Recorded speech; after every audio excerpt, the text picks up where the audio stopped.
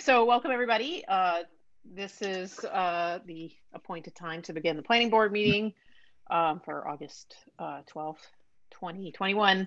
Um, we have uh, uh, a, a, new member with us. Um, so we're going to start very quickly uh, by doing introductions for the benefit of everybody here, but also especially the those the planning board members ourselves um, to meet our new person. So I'll start with myself. I'm Marissa Elkins. I'm vice chair um, of, of the planning board, and uh, I'll move. I'm just going to call on people. Uh, so Sam, you.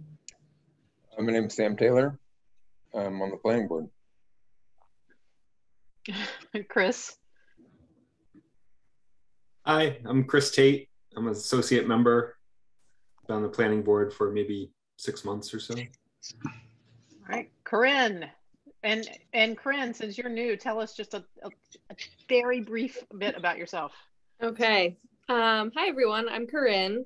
I'm the new associate member. Um, I let's see, what's like my fun fact? I just have I just got a puppy.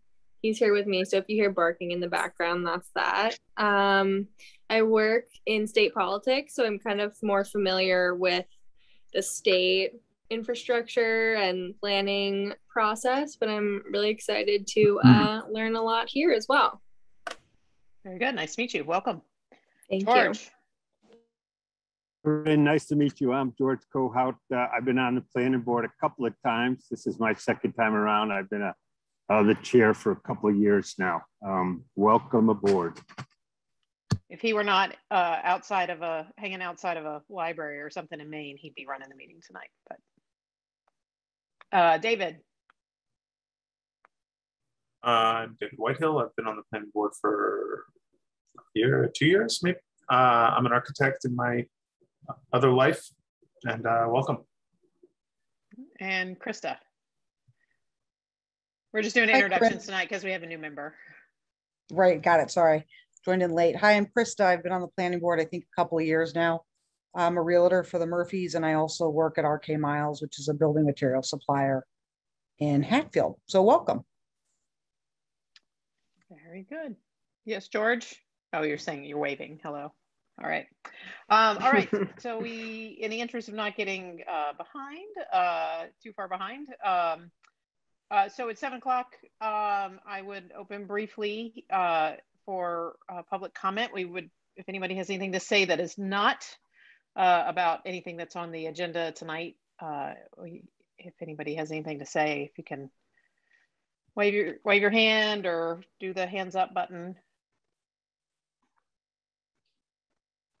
Anybody? Hey, Marissa. Yeah. I should probably just note for the record, uh, for our first, I think our first agenda is uh, Kiter Builders.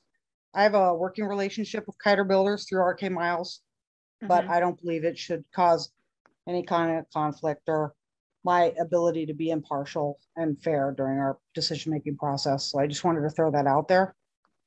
Okay, thanks for, for putting that on the record. We'll uh, note it for when we move ahead in just a second to to that issue. Um, all right, so seeing uh, nothing else, um, I will go ahead and move on to that, to the seven o'clock um, site plan, Kiter Builders new two family um, uh, uh, uh, uh plan.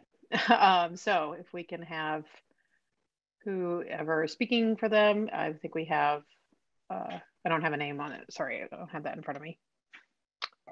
Hello, this is Scott Kiter. How's everybody doing tonight? Good, thanks. Hi, Scott. Hi. Um, would you, do you have the drawings in front of you or what is the best way for us to get that information in front of the board? So if you could screen share, Scott, I did make you co-host um, okay.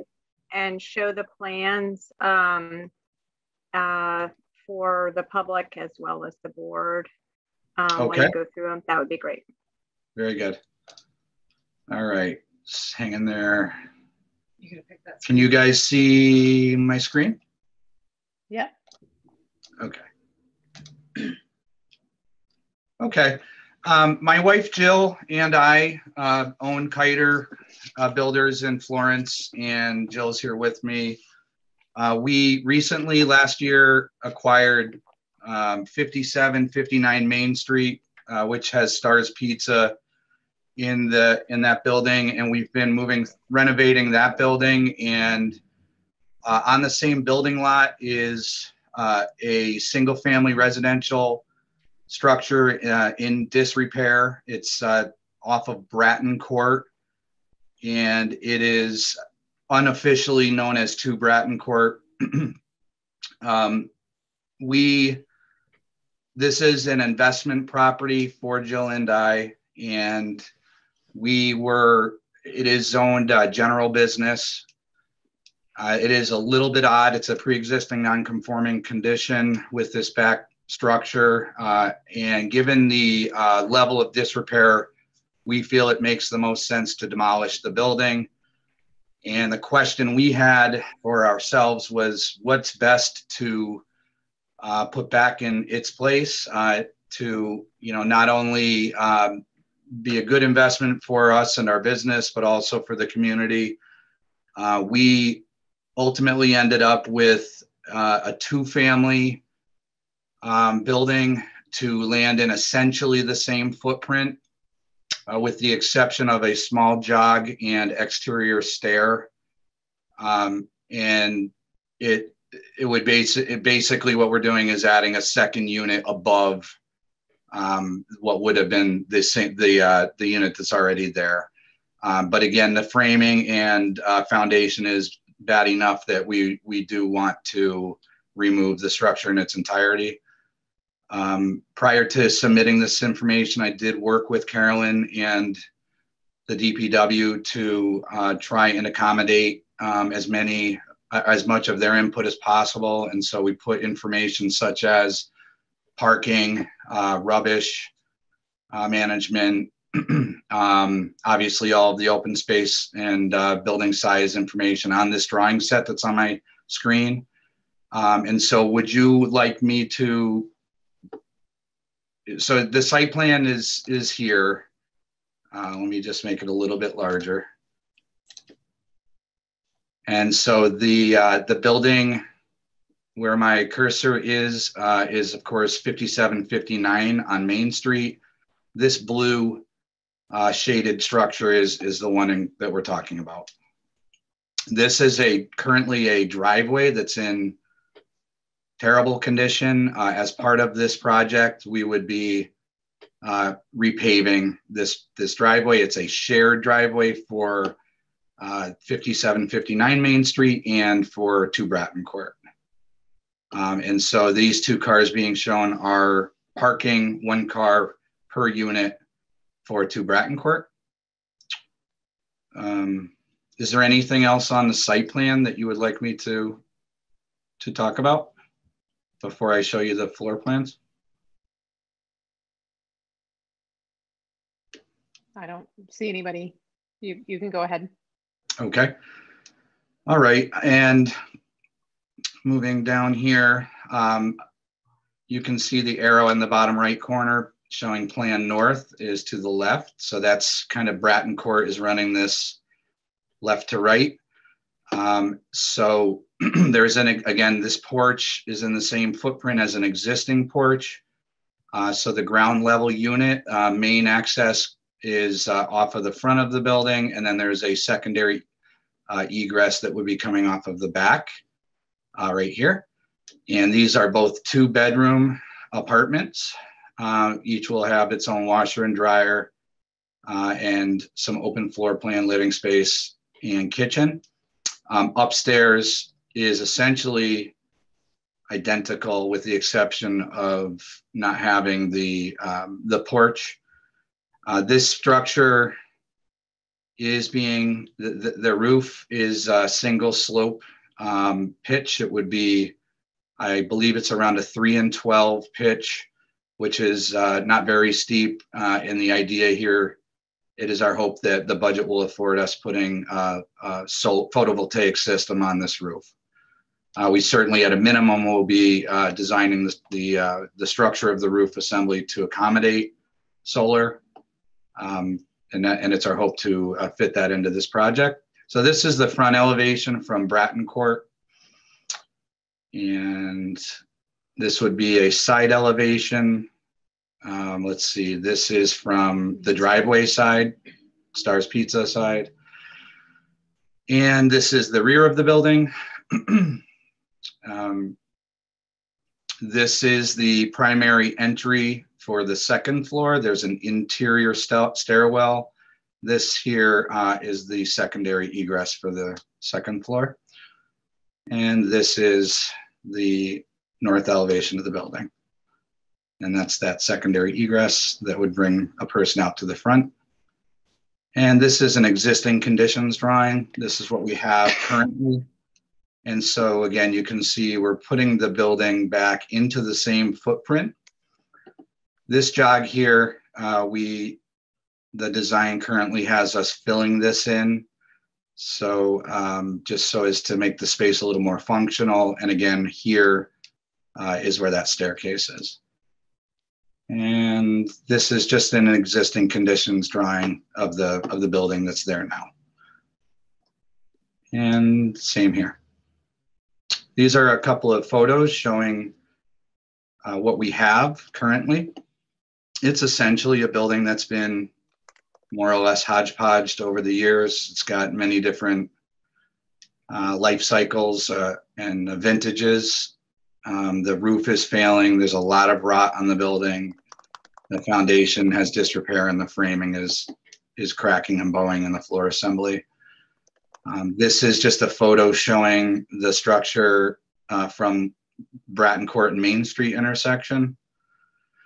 Um, as part of this uh, this project, I will just point out, as part of the uh, overall project, we have um, worked with Stars Pizza. This is a four cubic yard dumpster. We've reduced that to a two cubic yard dumpster, and we've put a, a concrete dumpster pad behind the building, and we're doing a little bit of fencing here to conceal this to make it look nicer.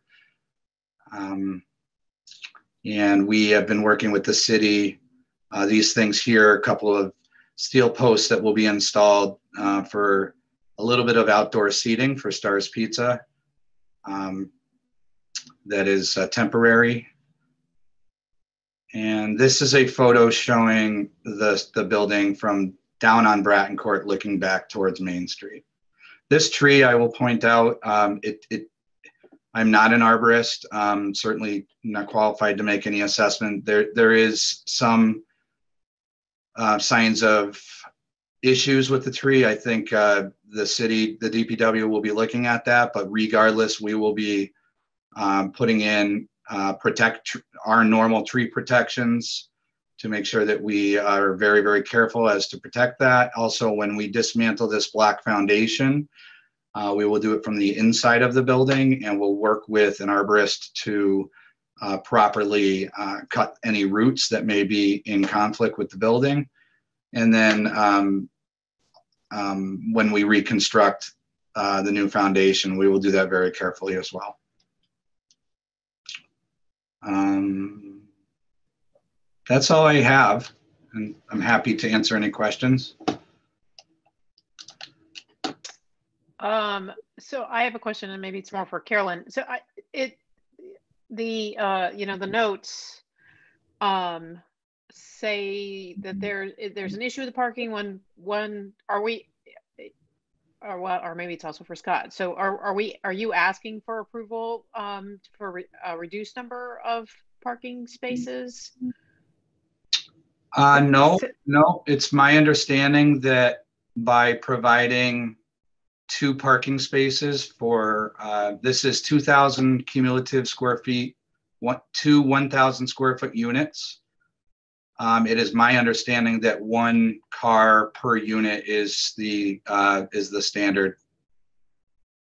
Yeah. Okay, okay. There was just something in the note saying that we could, uh, re- Yeah. approve less, so I wasn't clear if, if that, if that request was actually made. I see. The request hasn't been made. I, I will just to clarify, you, the, the zoning does allow um, parking spaces to be in tandem and count for parking for a single unit. So unit, if if two parking spaces were required per unit, then each unit could have a tandem space, one behind the other, but not when it's different units, because as you can imagine, um, it would be difficult to um,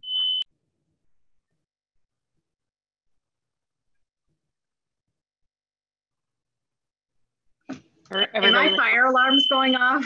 Oh, great. Um, Okay. I don't know what's going on, but um, just want to finish my thought and then I'm going to go figure out what the heck's going on. um, but anyway, so this parking arrangement is does not meet the parking requirements for one space per unit because you can't share, you know, the backup space when it's two separate, two different units. Um, however, this is in the general business district and we do not require additional parking spaces to be calculated for um, the addition of a second floor above an existing first floor unit. And the, the idea behind that is that there is potentially other parking, um, other parking options in a downtown or downtown Florence. But also more importantly, um, the goal is not to um, is to encourage verticality and expansion of uses um, vertically um, and not um, discourage people from doing that just because they can't meet a parking requirement. So that ultimately was why the zoning was written the way it is, which is that you don't need to provide additional parking when you're adding square footage. So whatever existed for that single family home is can legally remain as is. Okay. Um, and then and then the other piece is obviously the concern would be during snow emergencies if you had to bring get the cars off the street i um, you know there is room for two parking spaces and, in addition there's the sort of restaurant delivery which probably isn't happening overnight during a snow emergency so potentially um, people occupants could figure out how to pull those cars off the street in that location um, for a maximum of two spaces, which would be required. Okay. Um,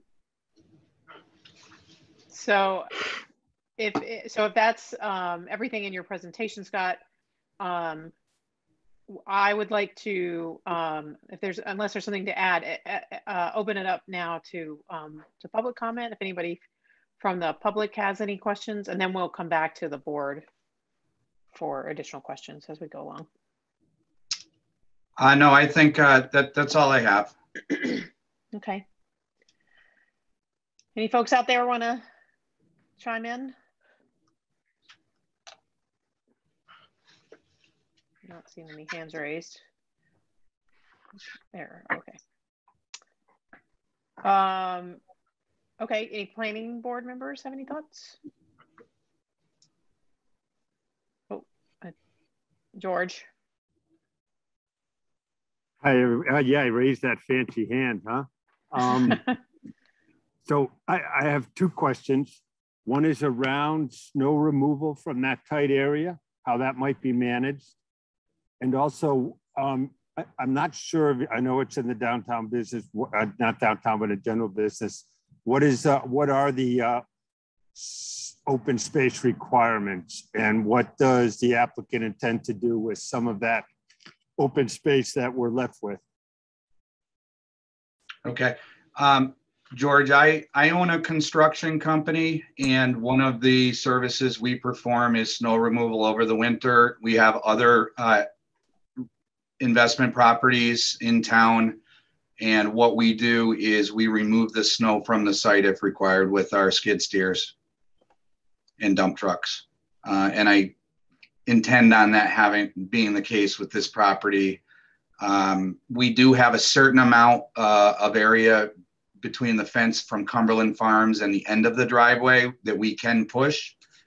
Uh, and if we get enough of it, we will have to remove it from the property. Um, and then regarding your question about open space, uh, there, there's very little open space, as you know, uh, to, to begin with. Um, I don't, none of our activities or improvements on the property um, within, with, with the exception of that little jog, um, will be creating any less open space. Uh, and so our idea is that we would bring the front yard of Two Bratton Court back to a lawn, grass. And on the back of the building, it's very, very, very tight there. Uh, you're essentially looking at a 20 foot wall uh, that is Cumberland Farms. And uh, it's very difficult for anything to grow back there other than weeds. Uh, and so I think what we'll do is some uh, pea stone or some some decorative stone that would allow water to perk into the soil, but um, be a little bit more manageable than trying to grow grass, which I think would be futile. Um, aside from from that, again, the driveway stays where the driveway is, and the side of the the building up front where we're doing some outdoor seating. Uh, I've worked with the DPW and have in, have installed trap rock uh, which is um, essentially what was there already. It just looks better. Thank you. Sure. Uh, it's telling me my internet connection's unstable, so hopefully we don't lose me. Um, anybody else have any uh, questions? Chris? Hi, I'm embarrassed to say I lost my uh, bookmark of the zoning code. I'm trying to find setbacks and things uh, for this zone. Um, I'm noticing on the plan it's not really showing any setbacks. Um, you're talking about an expanded driveway. I, I, don't really know what the open space is in this zone. I'm not really seeing any dimensional um, information on the plan. And I'm doing a bad job of finding it on my own right now. So Chris, uh, don't feel bad. I actually don't think general business is up on the uh, E code for some reason. Okay. Uh, so Carolyn had to give it to me. Yeah, it doesn't have its separate table, but there are no setbacks in the general business district. Okay. Um, and the open space is minimum is five percent, but it's over the total property, so it's not just looking at the structure and it's and it's on its own. Okay, um, then we should be good. It, it seems yeah. to me that the the new driveway will take up a lot more space than what's shown on the existing conditions plan. So I was just curious. Um, excuse me, let, let me just take a look at that. Um, no, he's talking about existing conditions. Let's just take a look. Uh, okay, for some, so the existing conditions drawing um, was, it was a survey uh, put together um, and it's not showing the driveway uh, for some reason, but it is not changing. It okay. is the same. Yeah, I don't I don't know why he didn't. The, the the purpose of the survey was to um, was unrelated to Bratton Court. It's it had to do with I'm I'm not recalling, but when we were working on 57, 59 Main Street, and so I didn't ask the survey the surveyor to um, get every detail. Uh, and so, um, oh, I remember because as part of our 57, 59 improvements, we are re- uh, reworking the rear egress. And of course, we did the facade on the front. Uh, so he focused on that and, and for whatever reason didn't pick up the driveway. Uh, but it is it is the same. The driveway is going to be the same as it is now. Okay. Yeah, with five percent open space, I, I think you'll have that no problem. So Yeah. um, I just had a clarification just so everyone um, understands that I believe um, the tree uh, um, that um, Scott described on the front that um, he will uh, protect is a actually a public shade tree, falls within the city's right of way. So as part of the application process or part of the construction, the applicant will have to um, comply with the um, shade, uh, public shade tree protection requirements. So through the city's tree warden. Um, and so that's going to be slight, that, that process is slightly different. It's outside of the planning board's jurisdiction in terms of dictating or specifying, I should say, what the tree protection measures will be. So that's why my recommended recommended conditions um, I just noted that, you know, prior to construction that the applicant is to show that they've um, uh, met the criteria as specified by this um, city's tree warden for protecting that public shade tree. Sounds good. There were other DPW comments as well about connections, you know, showing the details of um, utility connections, which will, is sort of the normal course of work when an applicant is taking, um, uh, pulling building permits. So um, those, all those comments have been forwarded on to the applicant as well. Okay, do we need to make that, like, do what the DPW says, uh, condition, or that's just passed on? Um, yeah, so you can't say do what the DPW says because you're the planning board and you're the one that has jurisdiction about what the applicant has to do.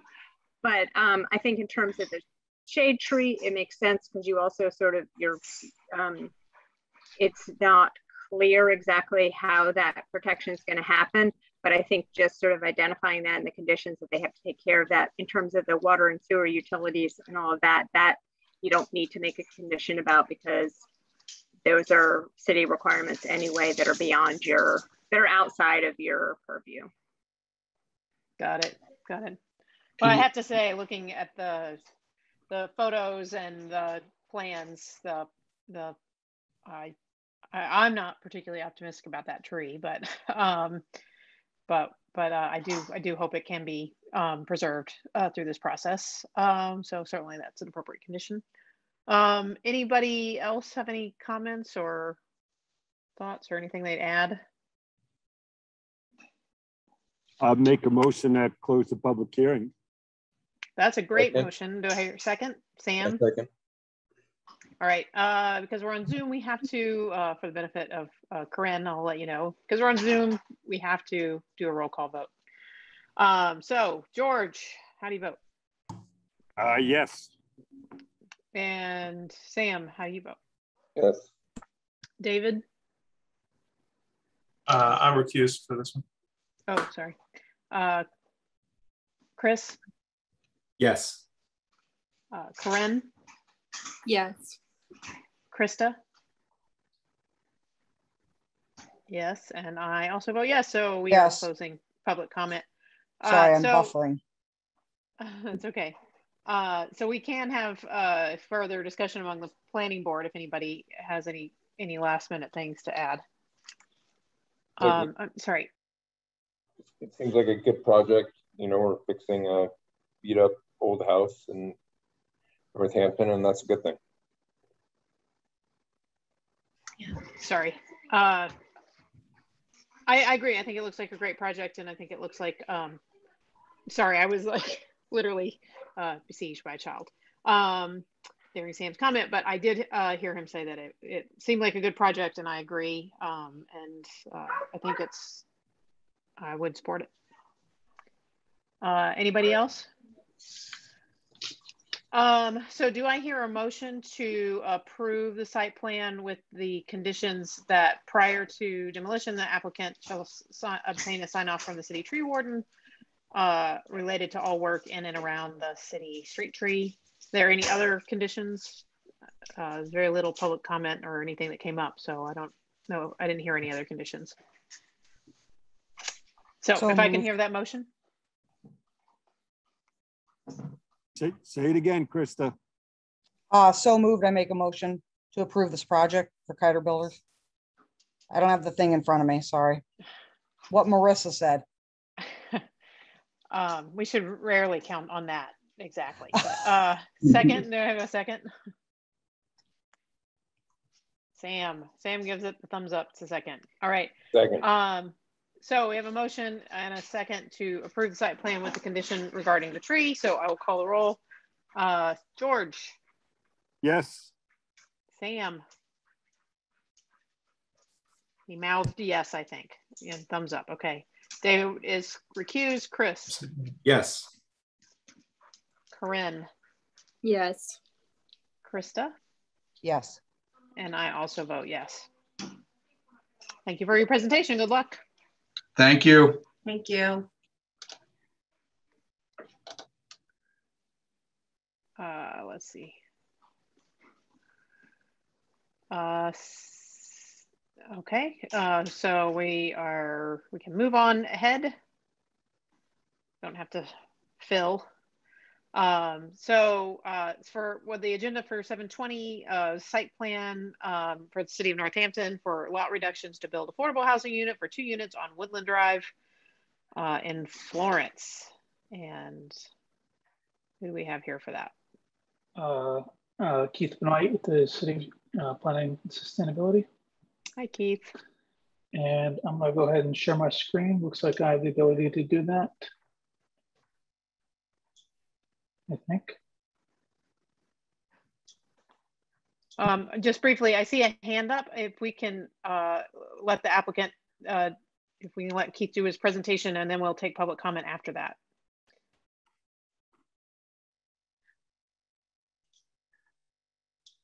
Okay, excuse me for a second here. I have to give it permission apparently. You need permission? No, on my computer. Um, oh, okay. Not, not, uh, not uh, no.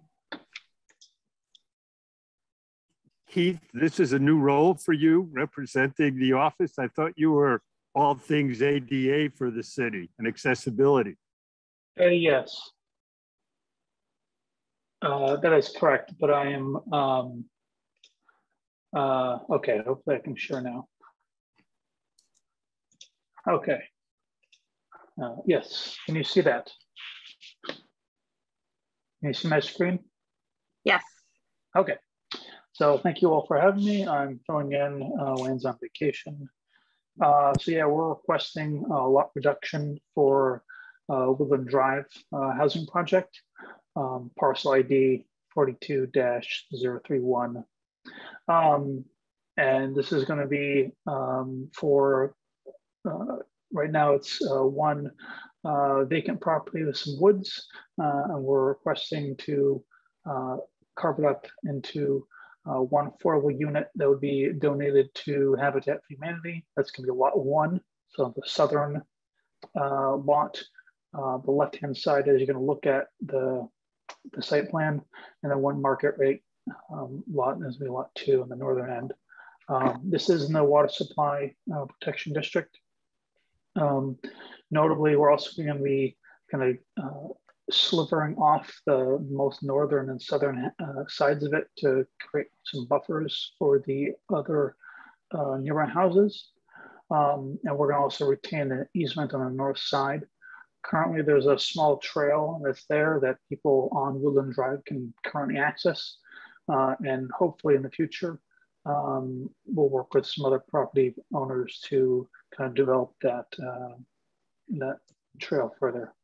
Um, so we did have a notable uh, public engagement about this project with the residents of Woodland Drive and the and the other abutters. Um, we had two Zoom meetings and uh, one site visit. Um, and, and right now we have an agreement uh, with the subdivision um, that the homeowners will join the homeowners, homeowners association to help with uh, snow removal and, and things like that. Um, so briefly, um, each each one of these units, the one family, each going to have their own um, uh, driveway. The sidewalks, the sidewalk is going to remain.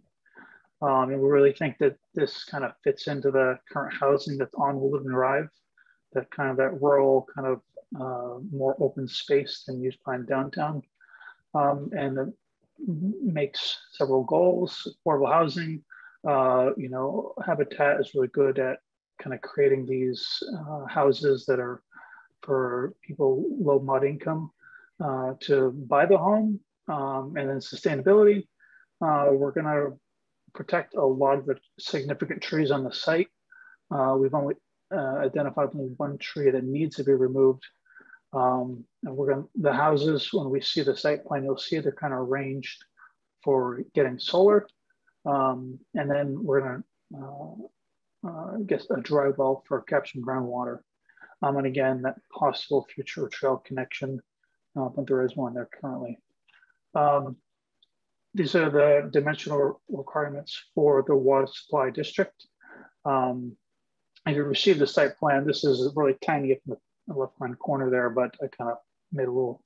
Um, but as you can see on the right hand side, it is um, it is kind of um, within the dimensional requirements for the uh, water supply district. Um, okay. Um, and we went through the um, the the uh, water supply uh, permit there, um, and we are only disturbing about thirty percent of the parcel, um, and that's that's less than an acre. So we are exempt from the stormwater performance um, and and recommendations that we made. Um, reestablished path, making sure that it's ADA compliant, which um, is standard, um, and then just that they would provide uh, construction engine entrance details for uh, sediment and erosion control. Um, so I'm going to blow this up a little bit if I can. So you can see. Um, so this is the this is the parcel here. Um, this part right here, we're going to uh, sell to this uh, landowner here. This is Woodland Drive, excuse me. Uh, one, this is the proposed affordable unit, the proposed market rate. And then currently the, there's a little trail in here. Um, and we want to keep an easement here to possibly uh, connect to other um, resources down here. But uh, as it stands, Woodland Drive residents or people on Route 66 can uh, hike in there. Um, and site plan. So as you can see, there's quite a lot of trees that are kept. These are identified uh, significant trees. Um, and uh, the way these are arrayed for solar access. Um, and most of the most of the um, site is uh, preserved and un untouched. I believe it is 85% uh, for both of them. Uh, so this is going to be the affordable. This will be the uh, market rate. This why it's a little bigger. Um, but that's the extent of my um, presentation.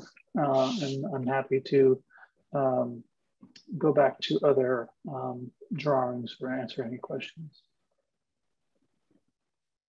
I have one quick question. Um, was this this is an ANR that we saw a couple meetings ago, Carolyn, where this was a uh, current or it was a flag lot at one time when Woodland Drive wasn't a public way. Is that correct? No, this is actually on your schedule for ANR tonight because oh, okay. you can't you can't um, you can't review an ANR that needs additional permitting until after that additional permitting has been obtained. So mm. I can understand um, all the ANRs that have been thrown at you over the last few months. you would um, uh, think of one of the previous ones you all did, but this one actually is on the list for later tonight. Um, is that the genesis of this lot though? Is this an old flag lot that? It, was an as a lot that um, it was left over the the subdivision for Woodland Drive was um, carved up into lots, and this is leftover land that was never divided as part of that original subdivision. And the builder, the original developer of the subdivision, maintained ownership of this, and um, the dimensional requirements changed, so mm. He could not actually create A&R divisions of this last piece of property, even you know 10 years after the subdivision was built, sort of. Um, so that's why it's been sitting here um, for so many years, and um, the only way it could really be developed is was would be either through this um, uh, affordable housing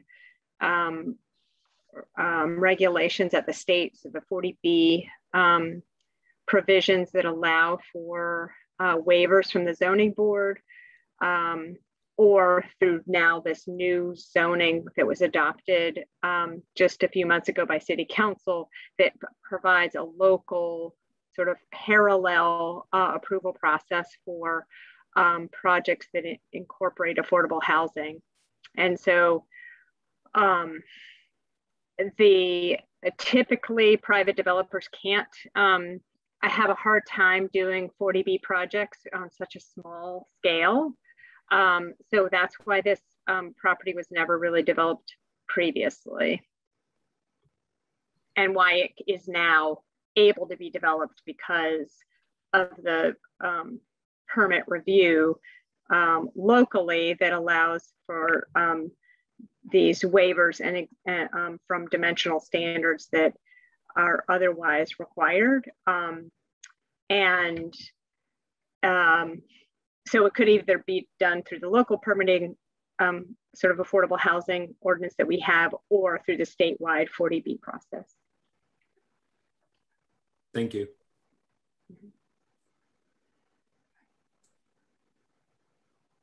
Um, I, have a, I, I have a question about the association with this affordable unit. How does that, if they're agreeing to sign in for that, like, how does the association do fees affect their ability to pay for it?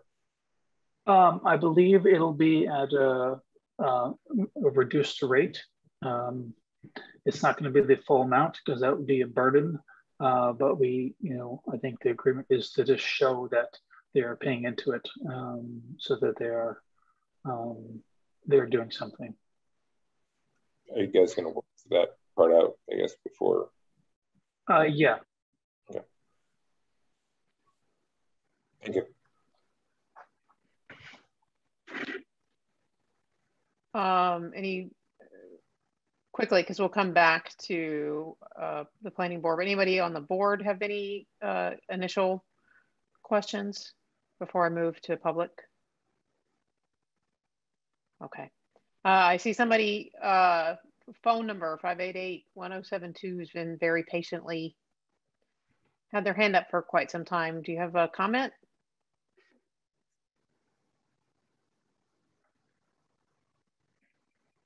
All right, I, maybe it's uh, inadvertent. Um, does anybody else from the public have uh, their hand up, have a comment?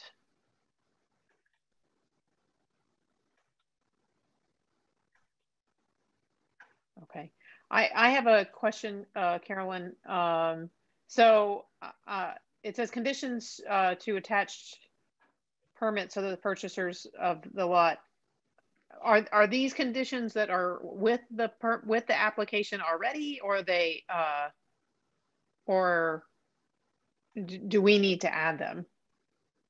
So um these are requirements in the zoning for any um, for any project that gets approved under the this provision in the zoning to create affordable housing and get waivers granted from the uh, from the typical sort of lot standards.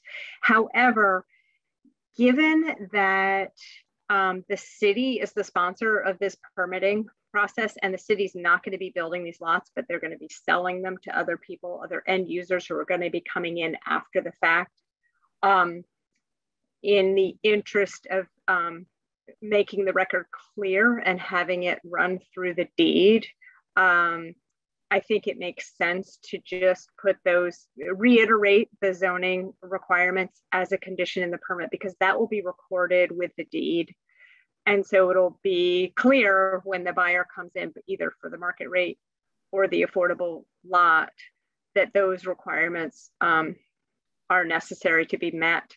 The third one I think is, which I didn't have on there, is just, um, which is typical when there's a tree protection area shown on the plans, that that be incorporated as well into the conditions that prior to um, construction, that um, that uh, tree protection be installed and um, that the city that staff signs off that that's been installed in accordance with the plan.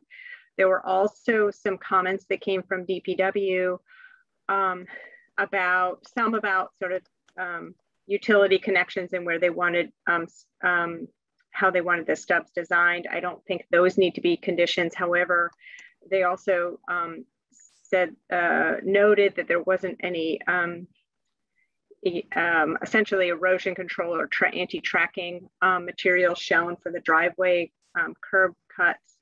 So um, uh, you all could incorporate a condition that um, materials um, during construction have to be placed so that there's no tracking onto the uh, public way during construction.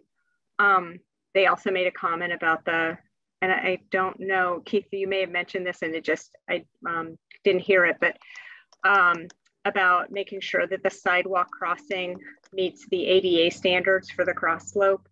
I so, did, yes. um, yeah, so I think that should be um, added as a condition as well. Uh, condition that the, I'm sorry, condition that the, um, cr the crosswalk. Um, the, the sidewalk sorry, go ahead, Keith. the uh, um, the the driveway um, side slope meets ADA requirements. Driveway side slope.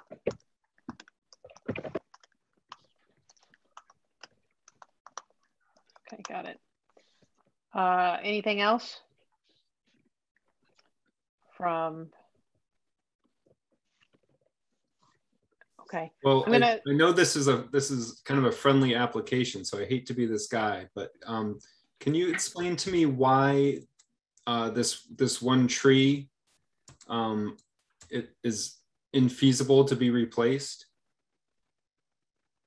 And which lot are you talking about? Uh, so there is one 21 inch tree that will be removed and not replaced per 350-6.12B3 um, and when I when I read that section, it tells me that, and on the note too, uh, this is on the market rate lot. It says existing significant tree one to be removed. Um, no tree replacement is proposed as no location is feasible that does not block solar PV array. So I'm just curious how there's no there's no place on this site that doesn't block the solar array.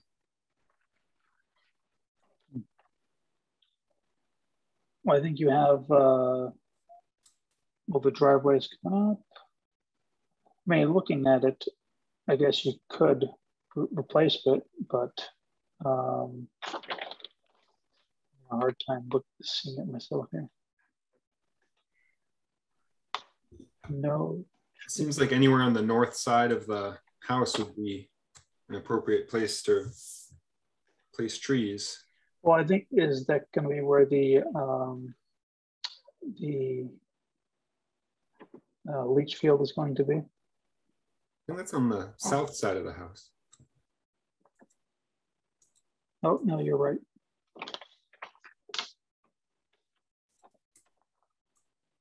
I, I don't have a good answer for you. Just looking at the plans now, I think the issue was um, I'm just, I just, um, um, actually, Keith, I don't know if you have, can you put that one plan back up on the screen? Um, uh, let's see, where is it? There we go. We'll see that. So it's the tree right in the middle of the yeah. footprint of the house, basically, is the one right. in question. Yep. Right. So, um, so the, um, I think the area, um, there's a lawn area that's being created. This is the market rate lot, which you noted. Um, and on the north side, um, the um, I think to create uh, the space is not huge there. I think the idea was to create um, a yard area for the property for the owner and uh, for the end user. Um, and um, because this site's pretty tight in terms of how much, you know, is, is um, being carved out for the house and this and the um, septic, the leach field, that um, they wanted to create, leave some yard area for the homeowner. And since that provision is allowable in the zoning, um, I think that's the way it was, that's why it was designed that way. If, I mean, would the city pay into its own tree fund anyway? Or is that just kind of, you know, Uh, from one bucket to another? Yeah. Um, so, uh, um, the, the, the, it would be passed on to the, um, to the uh, end user. Um, and so it, wouldn't be the city paying into its own, um, you know, paying itself essentially. Um, uh, but I think the idea was, and I'm just trying to um, pull up, um, I know we had an internal conversation about it. And I will just say, you know, yes, it's coming out of our office. I didn't personally, I haven't been personally involved in, in this design process. Um, so trying to keep separation to the extent possible. um, so that's why I'm just trying to go through um, um, trying to pull up that that information just quickly here. If you give me a second. Um, I feel like with any developer, we would say, pay us money.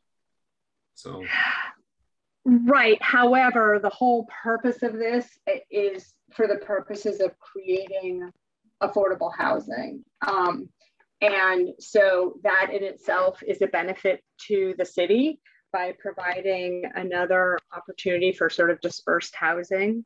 Um, and so that is um, the that we get and remember as well that even in the sort of outside of this, when a developer comes in and and creates affordable housing for um, and and, and uh, cre- and has to remove trees for that that fall under the standard 12.3 tree replacement calculations. There's a provision in there that the um, the uh, planning board can waive the tree replacement requirements if there are certain other benefits that are given to the city, including the provision of affordable housing units um, and including um, uh, net zero energy homes. So in this instance, it's parallel to that situation where the planning board has jurisdiction for any private developer um, to obtain that, that waiver. In this case, it's built into the zoning because this is the kind of um, project that provides um, needed housing um, in a place that in a way and in which other private developers can't necessarily create those units. So built into the zoning, meaning we don't, they, we don't have to give a waiver. We can just. Um, correct. It's already part of that section 6.12 um, for the affordable housing. Units. Okay. Uh, George, your hand is raised. So, um, so kind of two things are related. I just want to follow up with, with Chris's comment. Um, but this parcel is going to be the market rate unit and the city's going to sell it to a developer who's going to build a house and make their margin. Um, so I would think that the developer could assume that cost of replacing the tree that's coming off of that lot. It's not really the city's cost at that point. Um, the developers in there. And so I wondered if um, this sidewalk in front of the place, is there a tree belt that the rest of the association has put small saplings, small trees along the tree belt. There's a place that this tree, the tree money could be used um, along that tree belt. I don't see any trees uh, depicted on the plan for that area. Um, so just to answer that, it's already, uh, uh, and you may have, you all may have gone out and done a site visit. It's already a pretty heavily treed street um, all along that section of Woodland. Um, I can um, do a screen share and show sort of, um, it's an older, but it's a street view um, image. And uh, so I don't know that they would actually um, be, I don't know if you can see that, but that's um, the Google, the street view image along this sidewalk, which is actually covered in pine needles. um, so um, there's that piece. The other thing, just to sort of um, respond, it's not really a developer who will be buying the house. It's probably an, an a homeowner that's um, an end homeowner who might have a builder that helps them build the house. But the city is sort of the developer in this instance and has absorbed a lot of the costs already to develop the land. Um, so done the perc test, done the other sort of pre-development costs that are um, necessary to get this um, lot and and our and and so um, in order, we wanted to be able to recoup as much as possible. And the more expense you add onto the cost of building a house on the property, obviously it makes it more expensive for the um, buyer and then also reduces the potential value for the city to recoup from selling the parcel. Yeah, the zoning is the zoning is very clear that no payment is required when the planting is not feasible.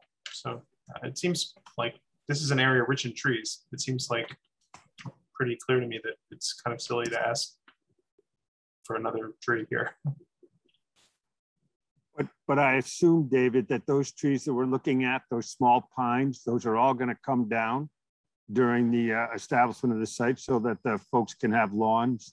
Again, I, I don't see that marked on the plans, but they're going to be all removed I mean, two I or three inch pines do, do not, I mean, those, yeah, I don't. No, no. So what fine. I mean, no, of course it's fine, but it's going to be a, a, devoid of any, that tree canopy is going to be gone. So the absence That's not a canopy. Be, we don't, we, we look at significant trees. We don't look at two inch pines here. I mean, this is. No, no, I, I understand that. Yeah, they're building a house. That. It's not a forest anymore. Someone's going to build a house and there's trees around it. I mean, I'm fine with that. it, Exactly. But this is why the city is working hard to plant trees and tree belts now, because all of those trees will be gone in the front.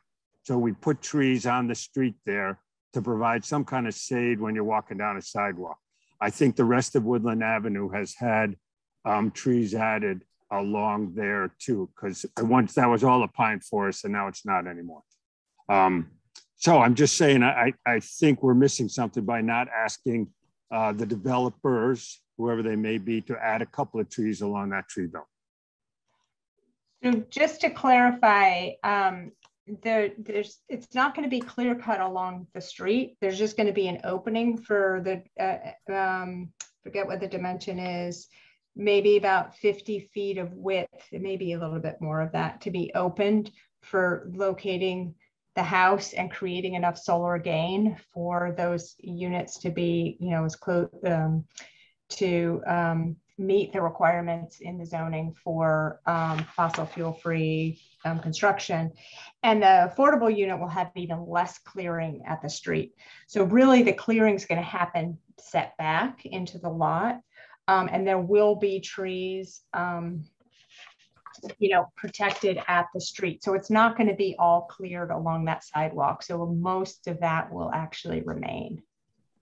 I, I just want to go on record as saying I'm completely fine with not requiring them to replace trees, but not for that call out that it's, you know, not practical. I think we could certainly do that under 350 12.3 significant trees, 6A, 1 a, affordable housing units where 50% or more of the units are deed restricted for affordable housing as defined in this chapter 350. So this is half the units, one out of two are affordable housing. So we can certainly decide not to do it. But as long as we're deciding not to do it for the right reason, not the wrong reason.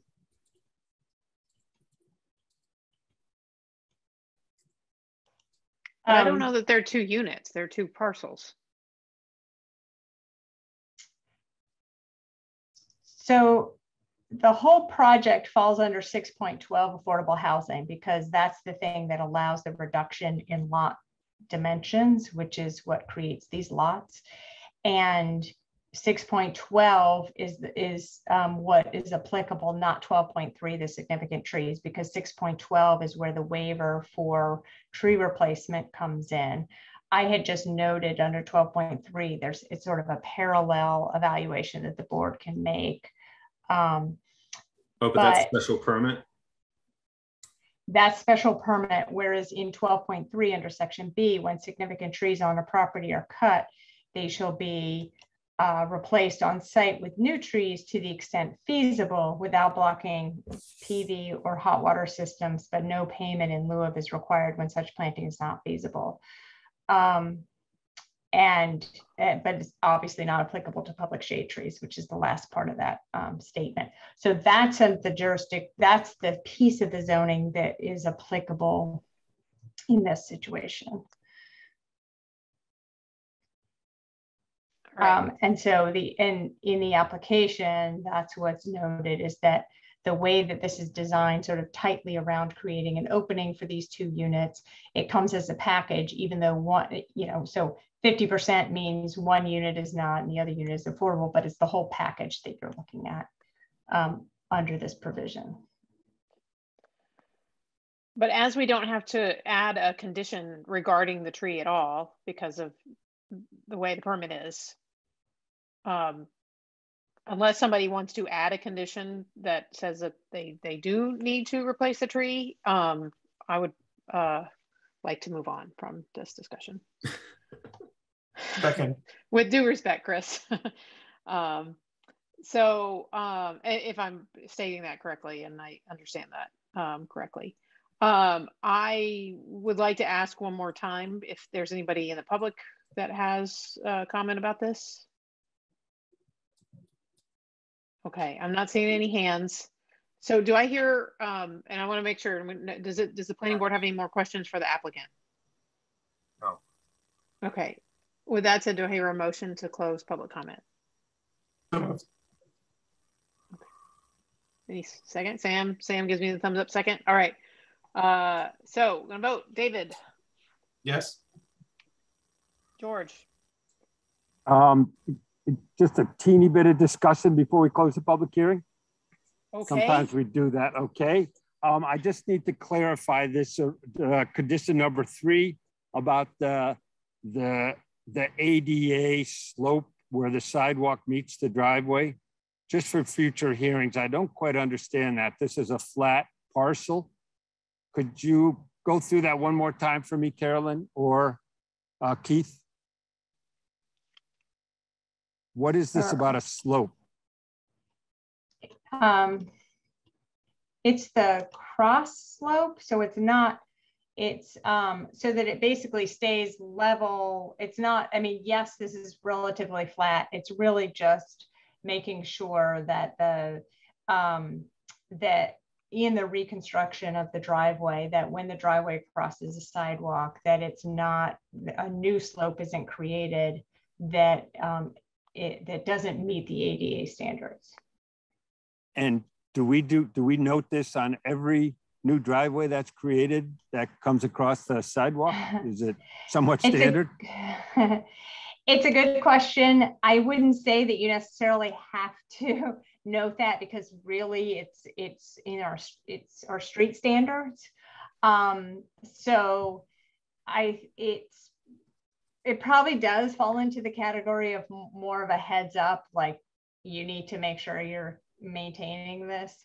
Um, but um, so you actually, if you feel that you don't want to incorporate it as a condition because it's true, we don't, if you don't, let me put it this way. If it's not part of the condition, it doesn't mean the applicant doesn't have to meet it. they still need to meet that um, requirement. Um, I think it's just being, a, you know, adding a layer of um, additional notice and conditioning in this case. Thank you. Okay, I'm gonna start that vote again. Um, Excuse we- me. Okay, uh, Mr. Kennedy, Um, there's a few of us from Woodland. Yep. There's a few of us from Woodland Drive. We lost power up here. And it just got back our power within the last ten minutes. Some of us so I know David, I think had. We can't really hear you. so, um, Mr. Kennedy, Mr. Kennedy, if you can hear us, can- Mr. Kennedy, And I, I, he's talking, but I, none of us are hearing him. um, I don't know. okay, so I, yeah, so I see a number of people, uh, sort of came in in the middle of that. Were they all people here for the wood, uh, I'm sorry, so were these folks who were here for the, for the, uh, woodland? Or not. So it sounds like they He lost sent power. a note to everyone that said he's And it just came back unable on. to leave a comment. So, Mr. Kennedy, we can't hear you, and I think somebody else needs to speak because we just can't hear you. Can we move to continue this public comment period to the, mm-hmm. after the next one? So these folks can get online and, and make their comment? I don't want to close it before we hear from them, but it's Yeah, not really I don't- working right now. I don't either, and I don't have a sense of how many people are. Mr. Yeah. Kennedy, we can't hear you. I, I, I'm, I'm gonna, I don't, I don't, Oh, he's muted. Okay, yeah, I, I, I, we don't want to cut anybody off, but it's, it's not. it- I feel like there's other people trying to speak too or having the same internet difficulties.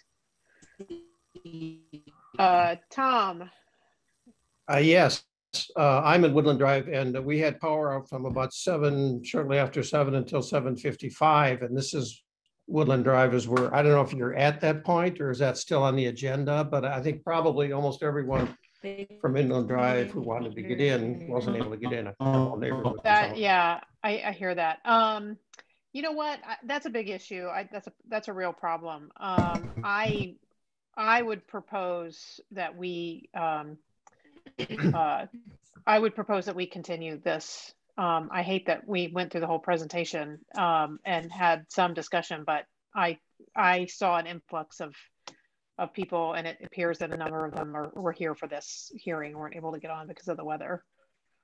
Um, uh, and well, so I, I see Chris nodding their head. I, um, I, I feel, I feel like we just need to call an audible here and, and, and continue. Um, I move that we go You- for it. Can I ask, oh, can I ask a question? Do you want, are you talking about moving it to the end of the meeting? Um, so like in another hour or something? No, no, we just need to move it to next, to next meeting. I think we need to move it to next meeting because it's very unclear to me. It seems clear that a number of people didn't hear the presentation at all and, Can and, can um, you hear me now? No, we're moving it. no. I, I move that we move the, the Woodland thing till next, to next meeting. Second. No, So- no, hold so on, let me hold just on. We clarify. have a, we have a motion on the floor. So to close the public hearing, so why don't we just vote down that motion? Okay. And then we can make another motion to move it. I If move, somebody interrupts the vote with a, with a, a prolonged discussion, does that, uh, what does that do to the, uh, vote? Well, you said you were going to restart the vote anyway, Marissa. so I did say I was gonna restart the vote. I, thank you for, for clarifying. I changed my vote. and- And keeping us on track. I David, do you vote to close the public? comment? No. George, No, uh, Chris, No. Corinne, No. Sam, no. Krista. No, I also vote, I vote no. I vote no. I moved, I I, moved, I, I moved to move, move the meeting to August, or What, when is, when's the next meeting? So the 26, I think. next meeting is September 9th. No, You don't 26. have Um, um, a meeting the 26th. However, if you wanted to, No. you could certainly move it to the 26th, but you haven't previously scheduled a meeting. for the September, I moved the, move the meeting for September 9th. Well, let me ask, uh, let me ask, uh, Keith, um, is there anything about this, uh, that, that it'd be, that a, a delay of a few weeks is gonna Uh, ca- cause a big issue? No, uh, good. Okay. Um, I, and listen, I, I want to, I, I want to, I feel like this was a civic moment in action, and I really appreciate uh, the the the neighbors and the people who came uh, for this part of the hearing uh, for speaking up. Um, we knew the weather was an issue tonight, and uh, it's unfortunate that was your specific neighborhood that that uh, was was you know uh, lost power for an, a more extended period of time. So. Um, Sam has a motion to move this item to the agenda for September 9th to f- complete this discussion. I second. At 7 PM, uh, I think, is that, what you need to do a time specific. At 7 PM. Okay, so September 9th at 7 PM. Um, Sam moved and I, who, who seconded? Chris. Chris, okay, all right. So, um, thank y'all for speaking up, folks. Um, I will take the vote. David? Yep. vote. George, Yes. Chris, Yes. Corinne, Yes. Sam, Yes. Krista, Yes. and I also vote yes. And now everybody tuck it away and then we can review uh, the minutes uh, for the discussion so that when we come back on the ninth, it'll be, uh, And, and we can ask the applicant to do an expedited review of the application again on the 9th. Do we don't have to start? I think you'll have to do that actually, because people, uh, it looks like people missed a chunk of it. So I think it's just cleaner to do that. Cool. right. And thank you, thank you, Keith. Uh, we- we, we appreciate your presentation and uh, we know it'll be just as good the next time. Better.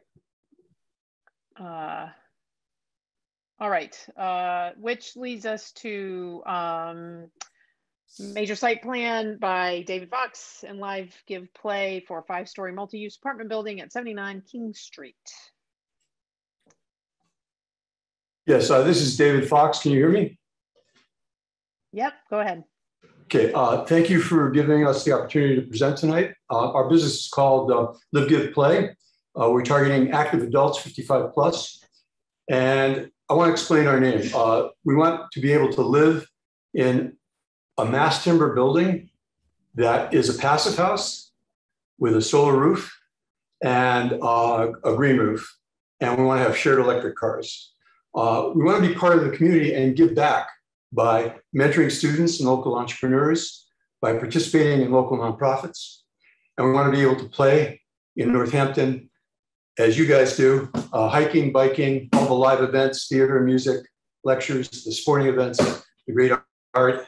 Um, and we hope to accomplish this at uh, the 79 King Street location uh, as an urban infill project in a very walkable neighborhood and bring in approximately 66 households of people who will contribute to the community, both by giving back and economically by spending money there. So uh, to explain more about the project, I'd like to turn this over to Jeff Squire of Berkshire Design Group to talk about the site plan and David Kubik of BKSK Architects to talk about the proposed building. Thank you. Great, thanks, David. Um, this is Jeff Squire from the Berkshire Design Group. Uh, Chris Chamberlain is also here from our office. Um, I'm actually on vacation in the Northern Adirondacks, so this is going to be sort of a tag team effort with with Chris and I. Um, if Chris has got uh, sharing capabilities, I'll walk you through the plans. Um, but as David mentioned, um, this project is uh, is located at 50, uh, 79 King Street. Um, it right now is currently occupied by roughly 2,600 square foot uh, real estate office. Uh, this used to be uh, former uh, bank branch for Bank of America. And prior to that, it was a service station. Um, um, so that, that site has been developed for, for a number of years. Um, the, there are two, there were two curb cuts on the existing site. There's there's one on the north side of the site. Um, there's also remains of what used to be a, a second curb cut further on the south. Um, the the current real estate office um, closed that curb cut informally, um, not without curbs and, and stuff along King Street, but that's no longer a, a drive access. And then behind a lot is, or behind the building is a large existing parking lot, um, almost to the to the rear of the site, where there's a little bit of green space as it abuts the uh, where abuts the bike path and the, the railroad tracks. Um, the proposal is to demolish the current building um, and develop a five-story, um, roughly 109,000 gross square foot building uh, it's roughly uh, uh, uh 5,900 square feet on the ground floor. The front of the building um, facing King Street is um, would be occupied by a uh, retail floor on the ground level, um, and then uh, residential units above. And then the back of the building contains um, underground parking, or not underground, but uh, first floor parking for 65 uh, cars and then residential units above. And the resident, residential units are a mix of one, two, and three bedroom uh, apartments and studios. Um, so the parking uh, access into the site, uh, as I said, comes in from the existing curb cut off of King Street on the north side of the property. Um, it extends under an underpass under the under the building, and turning right would bring you into the uh, lower level parking garage um, there's a start, uh, stacked car system in that um, in the garage floor to hold uh, hold roughly 65 cars, and then the exit um, is a little bit further to the east, and there's a one-way exit that wraps around, then exit back out on King Street um, via that single curb cut.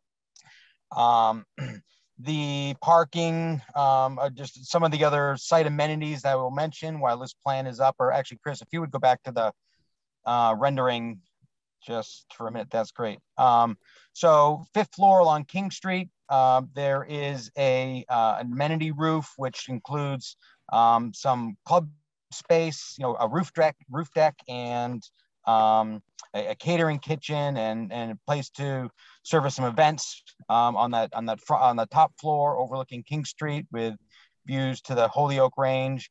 And then behind that, there's also an extensive green roof for, for residents, which, which would also include a number of amenities and, and um, you know, seating options.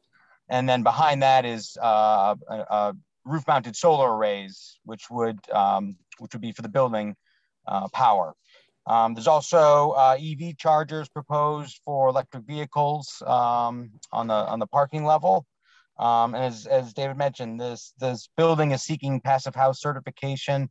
Um, it is it is a mass timber building, um, so we are striving to to tick all the boxes in terms of sustainability and um, um, you know current um, current current construction practices that um, you know are, are, attentive to you know some of the environmental concerns.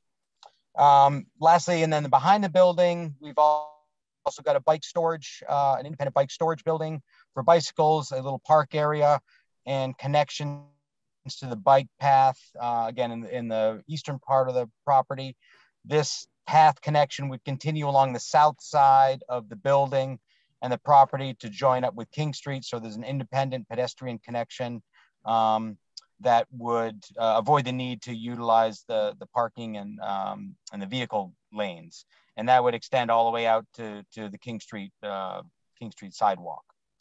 Um, the, the ground floor level along King Street, just to mention, um, we are set back about 10 to 14 feet from the side, uh, from the street line. Um, again, really trying to create, um, you know, some space out in front of those retail stores, retail spaces um, to you know accommodate you know maybe outdoor dining or outdoor displays depending on what those uh, who those future tenants are. Um, but the idea is just really to leave that open as, as flexible space and and be utilized um, depending on on the tenant's needs. Um, fire access we have reviewed uh, these plans extensively with the fire department. Um, uh, included in the submission package was uh, was a letter from um, or memo from fire some fire code consultants um, regarding fire safety and and um, access.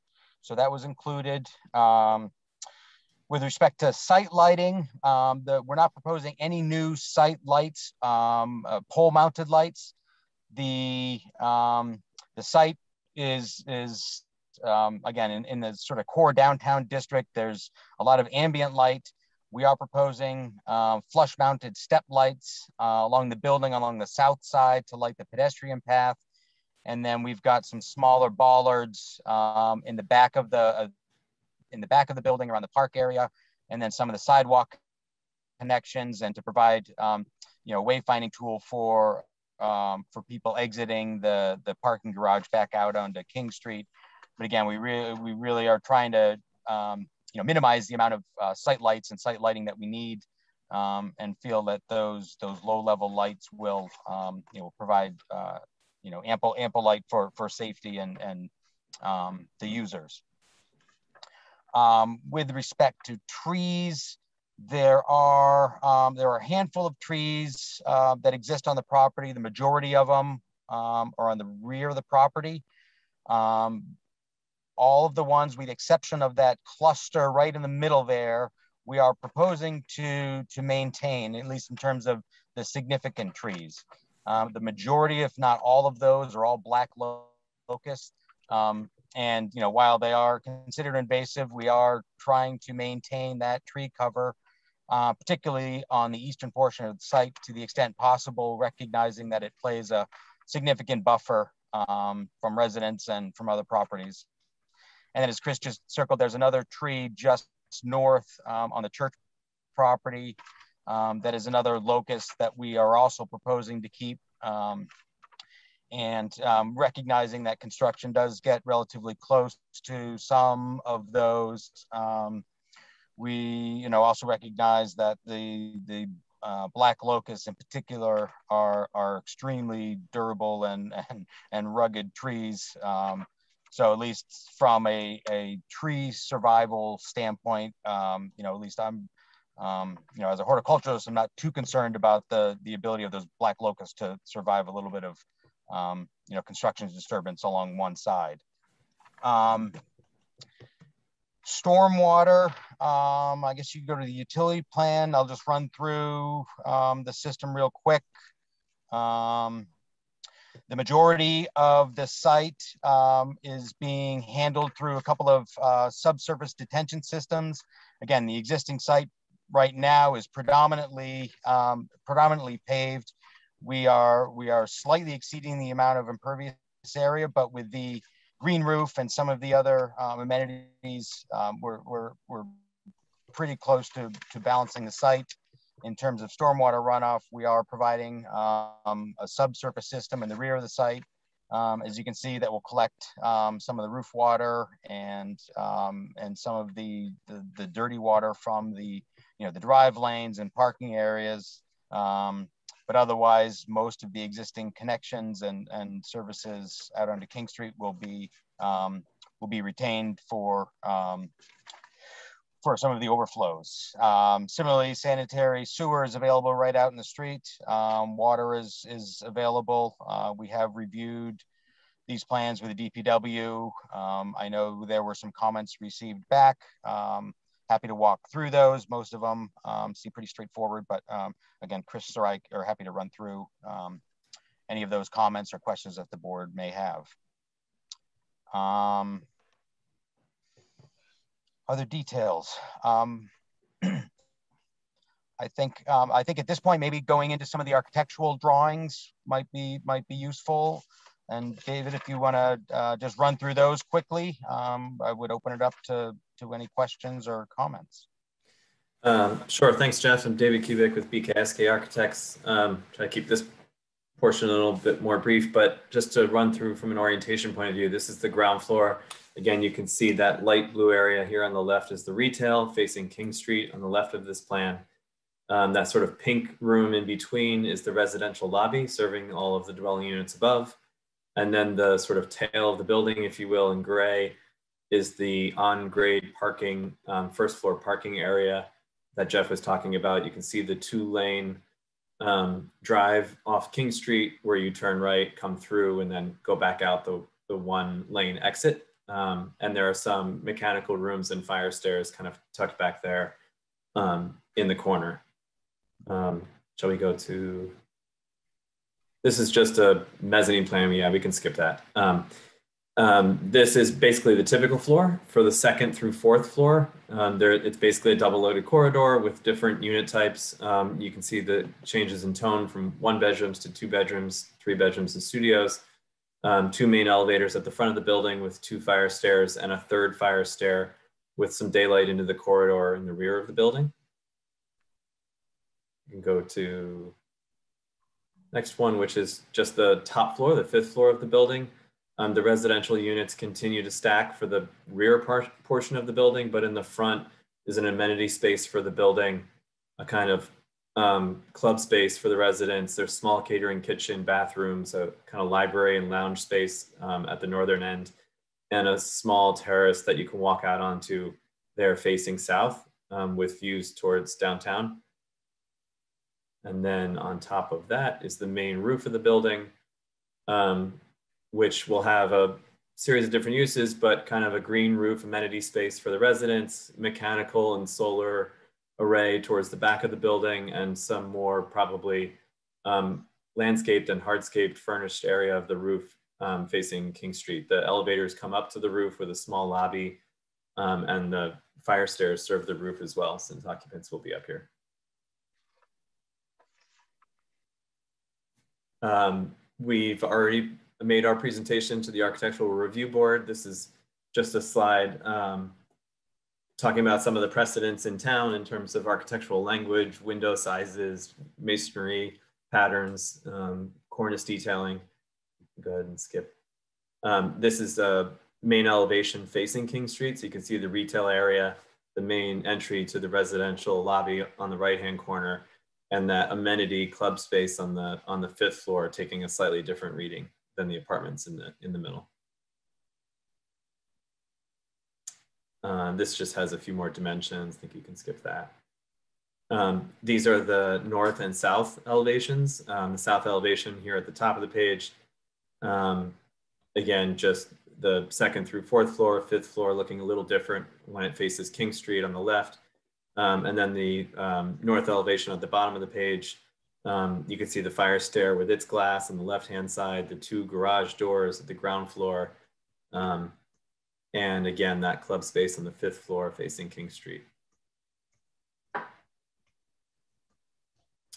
Um, this is the east elevation, if you will, facing the bike path, um, and then just a detail of one bay to show some of the architectural details that we were proposing that we shared on committee meeting um, perspectives on King Street from the north. You can see the entry, the two lane entry and how that goes under the building with the retail off to the right. Um, and you can see sort of the tail of the building beyond to the left in this rendered view.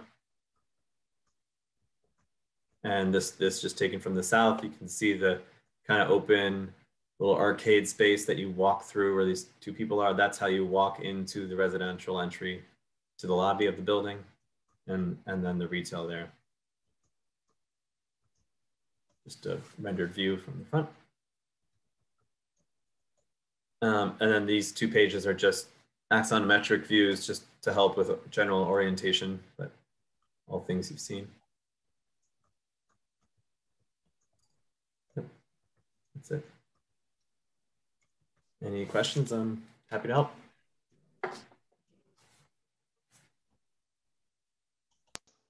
Yeah. Boy, nobody's done anything this big in Northampton in a long time. it's pretty exciting to see. Um, just uh, actually one other zoning um, thing. Can you scroll down on this site plan a tiny bit? Yeah. Um, Jeff mentioned that we're setting our building back further from the property line. There's a little bit of an open space there, and the the intent, um, actually, even just the rendered site plan was just to align the front of our building with um, the, our neighboring building to the south in terms of how we arrived at that location. was was uh, partly influenced by the the town's design guidelines with the transitional residential building diagrams, where if you have a neighbor that's slightly set back, that you know you you could match that just for consistency on the streetscape. That's what informed that line. Sorry. Um, okay, so if that uh, concludes your uh, presentation, I uh, first I'll go to the uh, to the to the board. Does anybody have any initial questions before we go to public comment? Can- And I can can't you really. A quick question, ahead, just, pick there there was some mention about the, uh, uh, it was referred to in a few different ways, but the club roof, uh, being a public is, uh, can you just describe how that club level below and the club roof are, are meant to be used? So they're accessory to the building. They're an amenity space for the residents. Okay, so it's not public, it's private. Correct. Okay.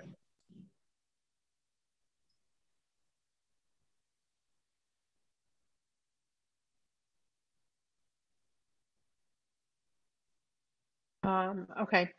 Um, all right, sounds like the board's pretty quiet right now. Um, any public comment?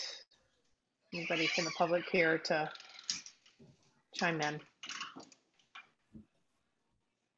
I don't know if we want to put it back in gallery view. I can't really, unless they raise their hand.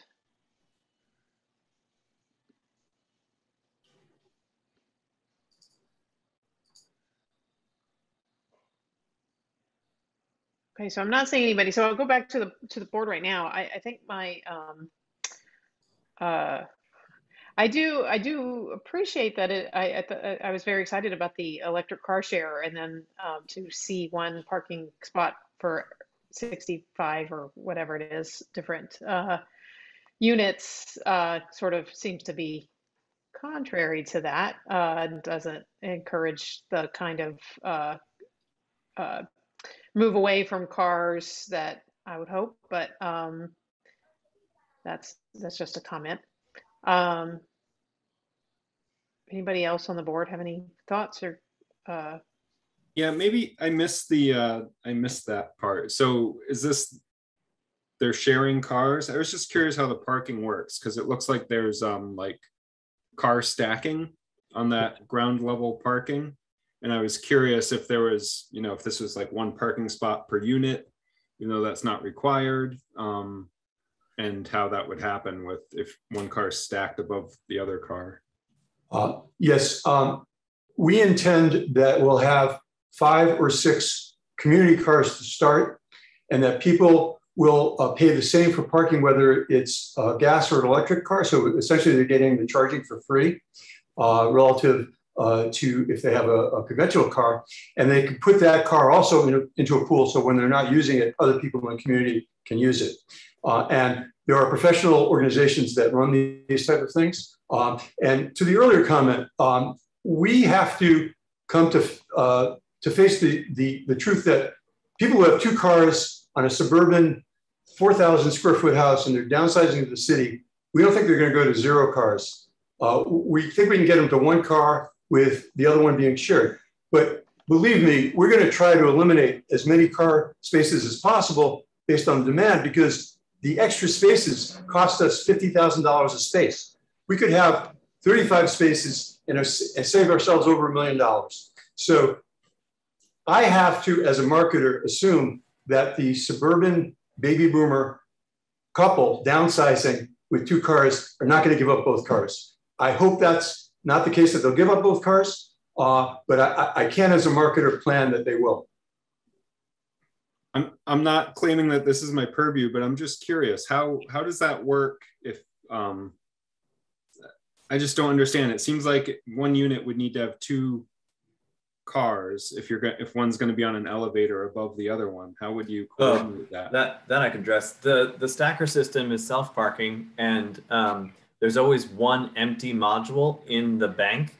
So it's basically like a game of Tetris, kind of. Um, if your car is at the top, you can press a couple buttons, and the thing moves your car down because there's always one empty shuffle space. Um, So it, it's not attendant parking. It's it's a self parking system, and you'll have your code, and and you can always retrieve your card at any, at any moment. You're not reliant on the person below you. Okay, so it's kind of like a dry cleaner or a Yeah, kind of like that. Yeah. CD changer, not Yeah. not like a bunch of little elevators next Right. to each. Right, Okay. right. Well, that's that's cool. Thank you. Yeah. Um, another question I had, and I think DPW brought this up too. I'm just a little concerned about the sight distance coming out of that as you're pulling out of the underpass. Um, number one, kind of clearing that brick uh, column or wall or, or whatever, and then also with that on-street parking spot. So I was wondering if you guys could address kind of Sure. So I think like. um, we were pretty comfortable with it for a couple of reasons. One, um, there is the five foot sidewalk that's outboard of the property line, and then we're further set back even from the property line. So there's sort of a double sidewalk moment. Um, and then as, as you pointed out, there's even a parking lane. So there's a fair amount of sort of layers and distance back to that brick pier.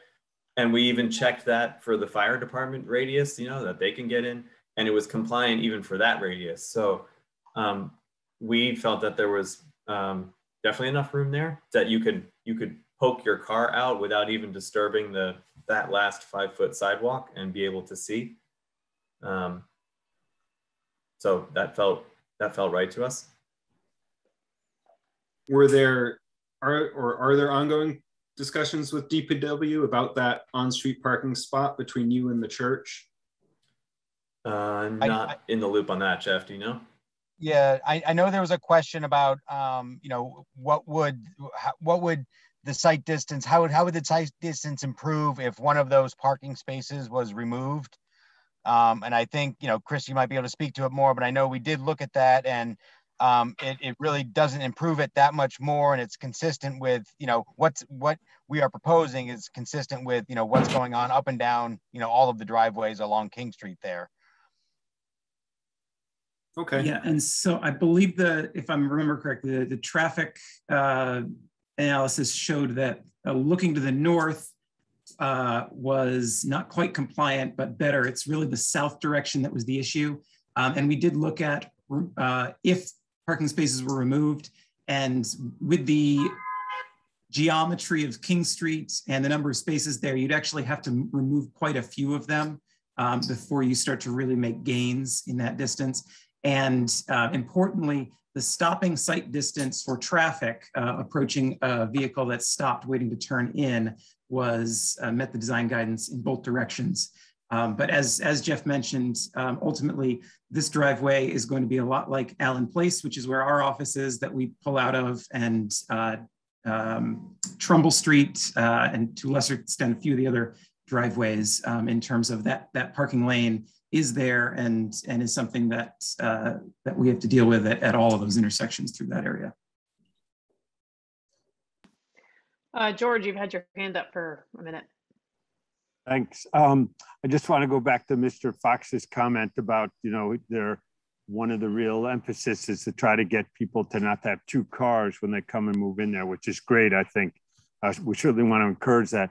So, and my assumption is with people 55 and older, a lot of them are going to have bicycles. So maybe instead of a car, each unit might have a bicycle. So let's say even half of the units have a bicycle. So 30 or 40 bicycles on the property. Um, there are some bike lockers in the back, but where do you anticipate people will keep their bicycles? Do they have storage spaces? There's no room outside. So the Just wondered. Yeah, we um, both Jeff and I can probably speak to that. So there is a little shelter, bike shelter in the in the back, which is what you were seeing on that site plan. Um, and I'm looking at my notes here, which I think are current. I think that shelter that we picked holds about uh, 25 or 30 bikes. Jeff, do you recall? Yeah, it's, it's close to 30, 32 bikes. Yes. Okay, good luck with that. You know, I hope people don't mind keeping their bikes out there, even though it's covered. That'll be great. I anticipate some will be downstairs too. But um, and while we're on the topic of bikes, so that connector from the bike lane along the south side of the building, how wide is that? It's referenced a couple of times as a pedestrian path rather than a, a multi-use path. It's, um, so our building is set back from the property line seven feet. Um, and so there'll be a, you know, a minimal steel railing at the edge of that. So, you know, a few inches less than seven would be the width for that path. From the face of that building, the side of that building to the metal railing. Right. Okay. Um, will the uh, will the property be fenced in any fashion for security purposes? No, there's no Okay. proposal right now. Okay, all right, great. With, there's been a couple of times in our city's history when we've had an egress or, or an opening from the street to the back of the property to the bike path to another street. Um, and in due time, the, uh, the owner of the property decided to close off that access point. Um, so I certainly hope that that wouldn't be the situation here. If you start seeing too much traffic of non-residents going down that walkway. No, I don't think so. I- Yep, yeah, just, we- just a comment to be aware of, yeah. Yep. Thank you. And then uh, George, I'll just throw in that because I ride my bike through that connector to work every day. So if, if David closes it, he's going to hear from me. Uh, but there's also the connection through the church parking lot, which is frankly, even today, uh, that's the way that I come into work because it's a lot easier. And that that's set to remain. You're right. Thanks. We also, we're also not proposing any residential units on the ground floor. So, you know, sometimes those adjacencies can get tough, but we don't really have that problem. Um, so that's a good thing, I suppose. Uh, Tom, Mr. Rowland. Uh, Yes, I'm, forgive me if you mentioned this earlier and I missed it, but are any allowances made for visitor parking? Are they just supposed to park on the street if these people have people over for dinner and such, and that kind of thing? Uh, we haven't thought that through, to be honest. Uh, it's a good question. Um, but uh, we haven't uh, really met and contracted with the automatic parking people yet. So it, it- it's an open uh, question and I think it's a good one and I'll keep that in mind. I just don't have an honest answer right now. And we can throw in that there is, um, there are daytime, long-term spaces close by, including on Gothic Street and just a little bit up King Street. And then there's the, I think it's called the St. James lot, but a public parking lot just at the other end of Allen Place, which is directly across the street. Thank you. Uh, Marissa, I just, and the board, I just had a comment related to the bike access and of course, um, parking. Um, just moving, starting backwards, we don't have a requirement for visitor parking. In fact, there's no minimum parking required at all for um, new construction in, in central business. So the applicant definitely is not obligated to create any, any parking and uh, let alone visitor parking. Um, so, uh, the, but in terms of the bike path access, there was a question that um, I had sent to the applicant, and I don't know if Chris and Jeff, you had a chance to think about that, but you're creating a bike path connection that's coming alongside the building, but then it's dumping into the sidewalk and there's no ramp onto King Street.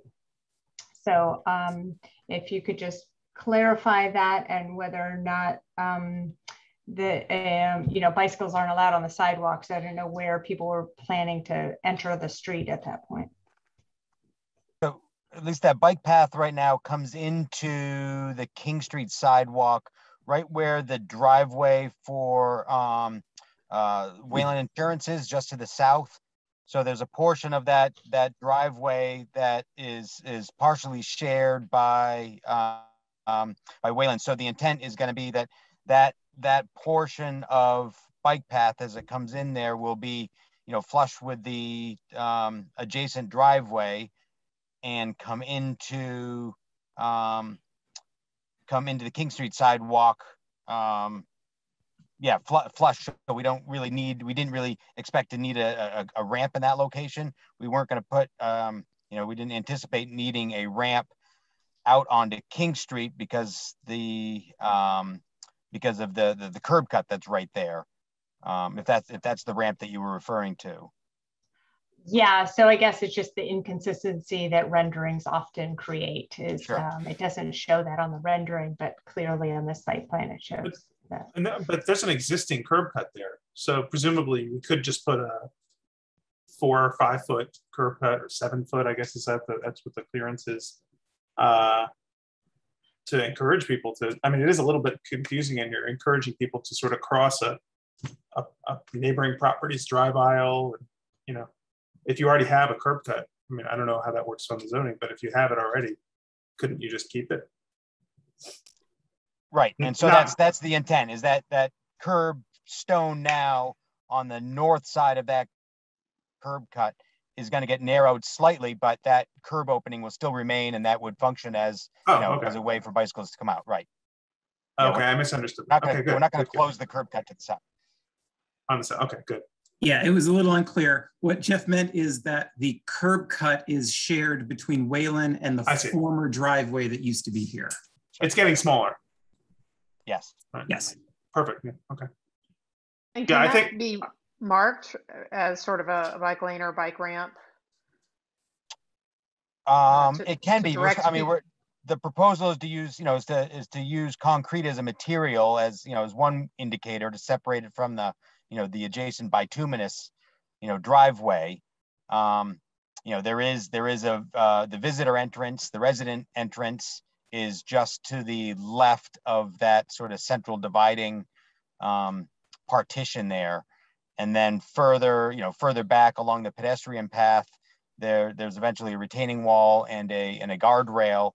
Um, but there's probably a way, you know, with signage or something on, on the building that we could indicate, you know, that that's a pedestrian path to the, to the bike path.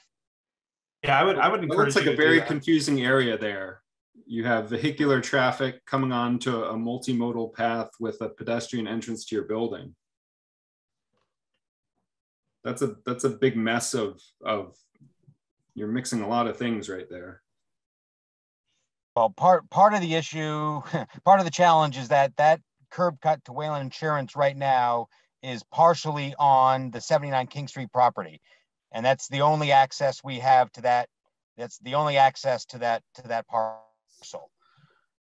And we can't, we can't eliminate that curb cut. So what we were proposing to do do was to, you know, at least clarify, you know, where the sidewalk, you know, through a, a, a change of material, where the sidewalk is, and then as the building architecture comes down and, you know, plays a more important role along that, you know, um, along that edge, that it would, it would define, you know, the various entrances to both the retail, the residential, and then the views to the path, you know, continuing back to the rear of the property.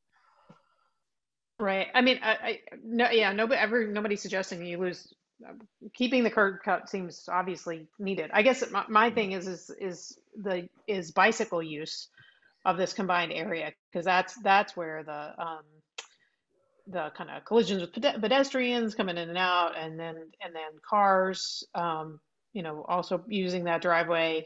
Um, so I see the constraints uh, that's you know and what you're trying to do there with the mixed material use i think some additional uh, markings on the on the on the ground or you know i think are going to be pretty necessary to you know keep people mindful of where they're going and and, and what different modalities people are getting around on there Yes. So can you just clarify where it says start concrete retaining wall and metal guardrail? It starts there and moves to the northeast and to the southwest. There is no rail.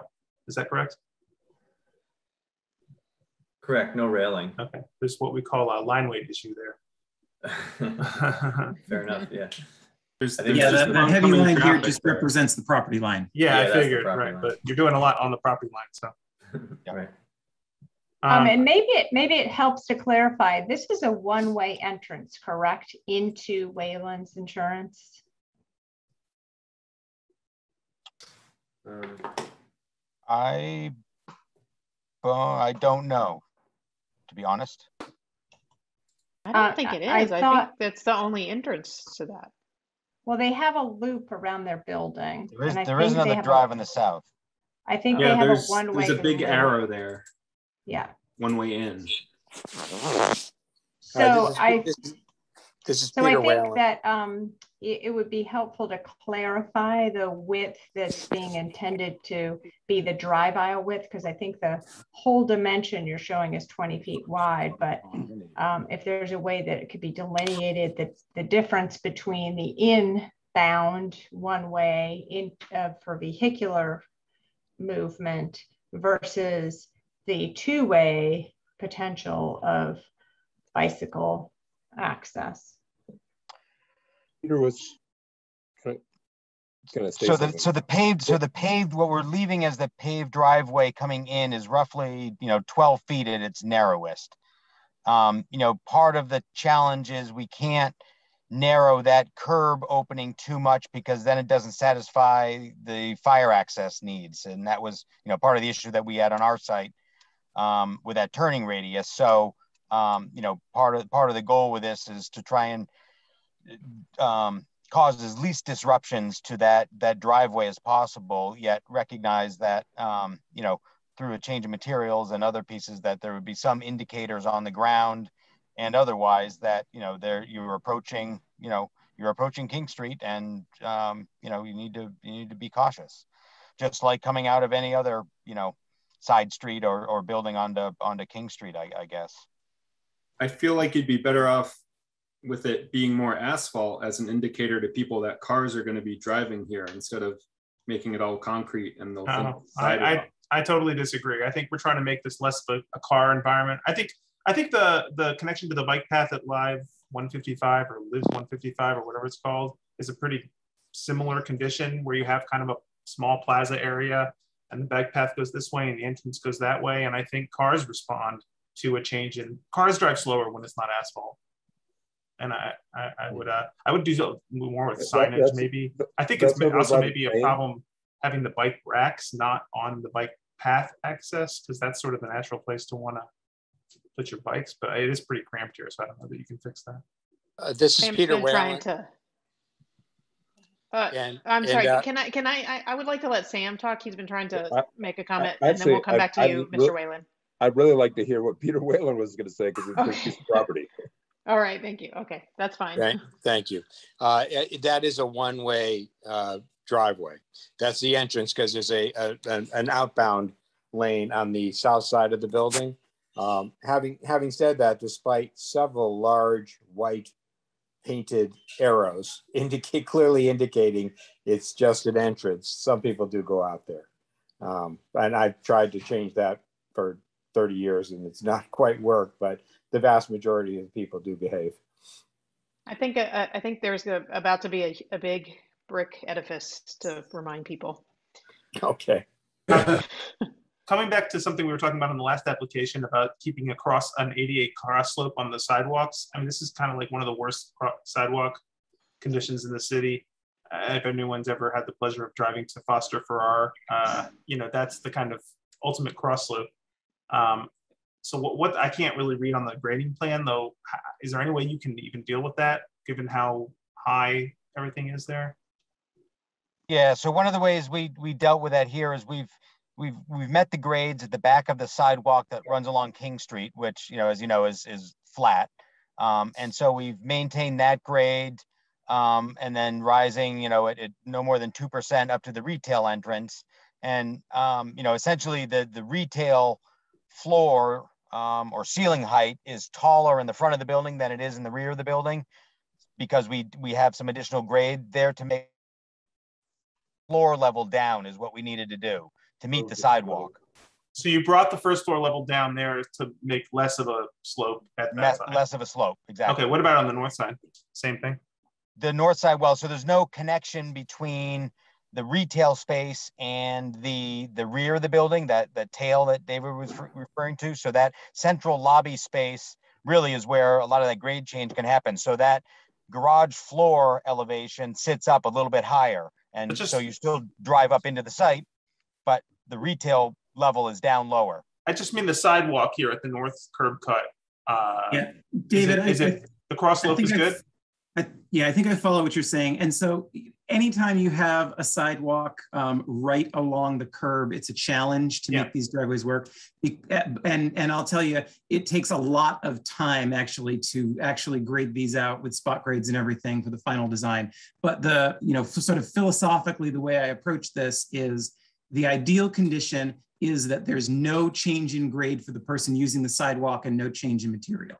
Now that's not possible literally in a situation like this.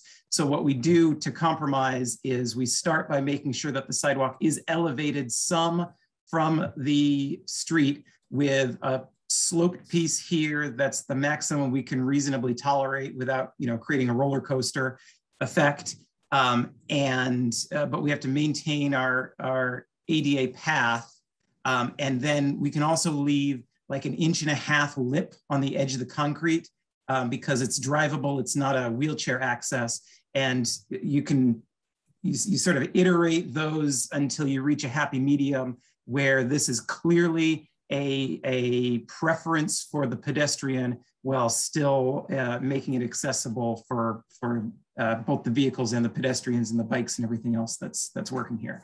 But there's a there's a lot of thought that goes into making this ultimate picture that's going to end up on the contract set. Good. All right.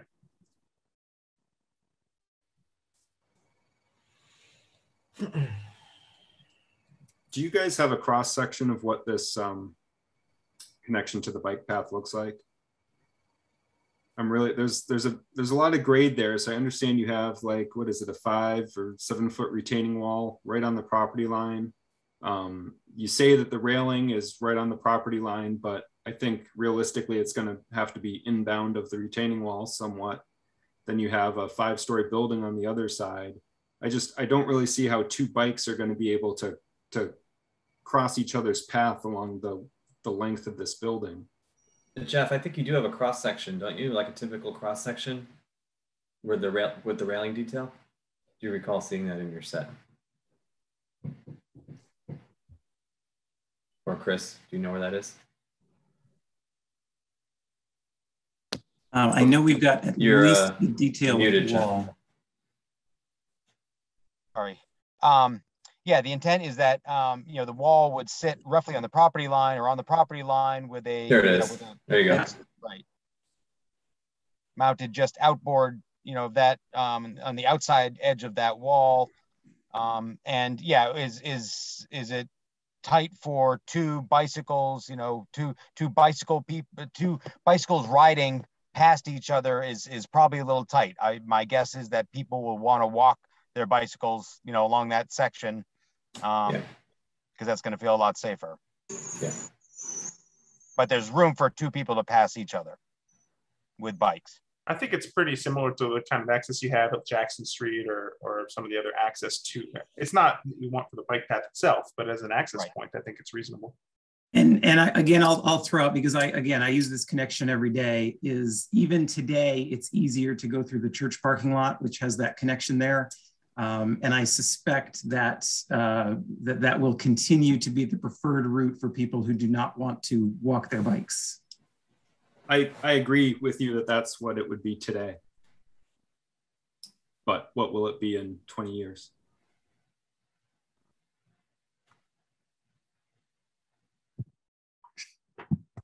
Gonna be beaming in 20 years.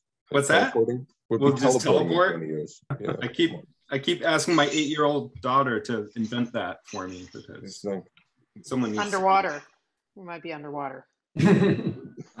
Uh, Gosh. so uh, unless unless uh, all of the electric shared cars, you know, catch on everywhere.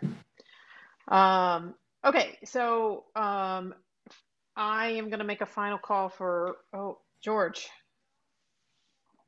No, go ahead and make your final call for, for what, public? Oh, I was going to say for for public comment. Uh, Yep, and- go ahead. And so, is there anybody here from the public? Any last comments? Okay. Um, George, is your a comment for for board discussion, or do you have a question of the applicant? I have a question for the applicant. All right, go ahead. So uh, let's go from the ground floor up to the roof again, if we could. Um, the amenities sound great for the residents. There's no doubt about it. I think um, there's a there's a lot that you're providing there. Um, I think perhaps we would want to make sure that it doesn't expand beyond just amenities, little social gatherings. I would assume that down the road, if the rooftop became popular and uh, the owners wanted to provide a, a larger function, Um, or if, or, or if perhaps a restaurant wanted to become permanent up there, there would be a whole nother permitting process for that. Correct? I know in big cities, rooftop clubs are very popular. Um, so I guess I have a little nervousness about that becoming more than just a place where neighbors come to socialize. So that's just a comment, I guess. And Carolyn, I'm, I, I think you could help me by saying that there's some limit to, to the extent that they can provide uh, um, gatherings up there, you know, functions. But what if people want well, to go to that bar?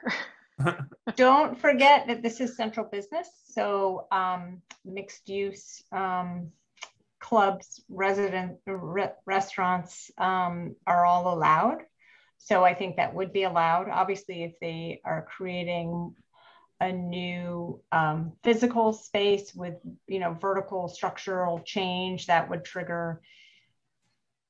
Um, who knows in the future if that will be a planning board review or just central business architecture, but it, it would any kind of um, building material change would require an amendment, but the use, um, all of those uses are allowed um, in the CB. Uh, there may be. Isn't this a good problem?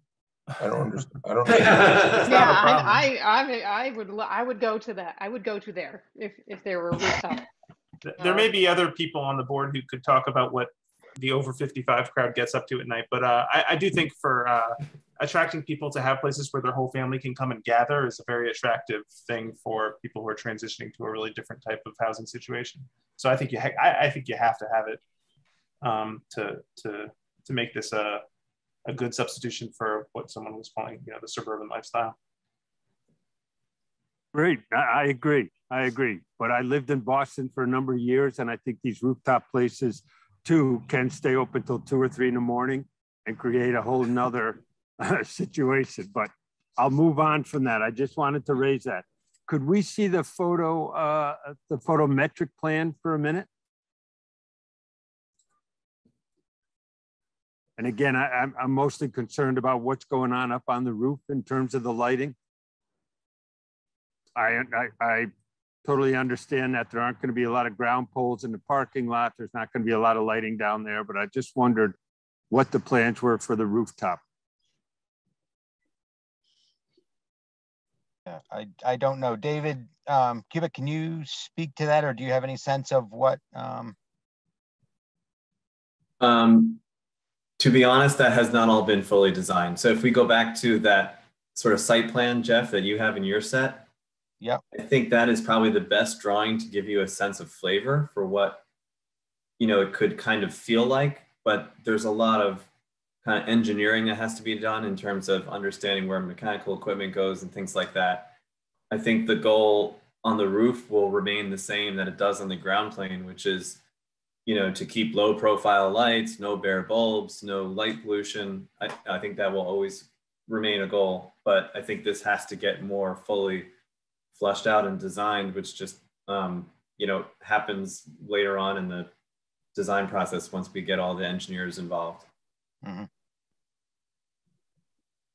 So, Carolyn, how do we handle that? Is that a staff review at your end?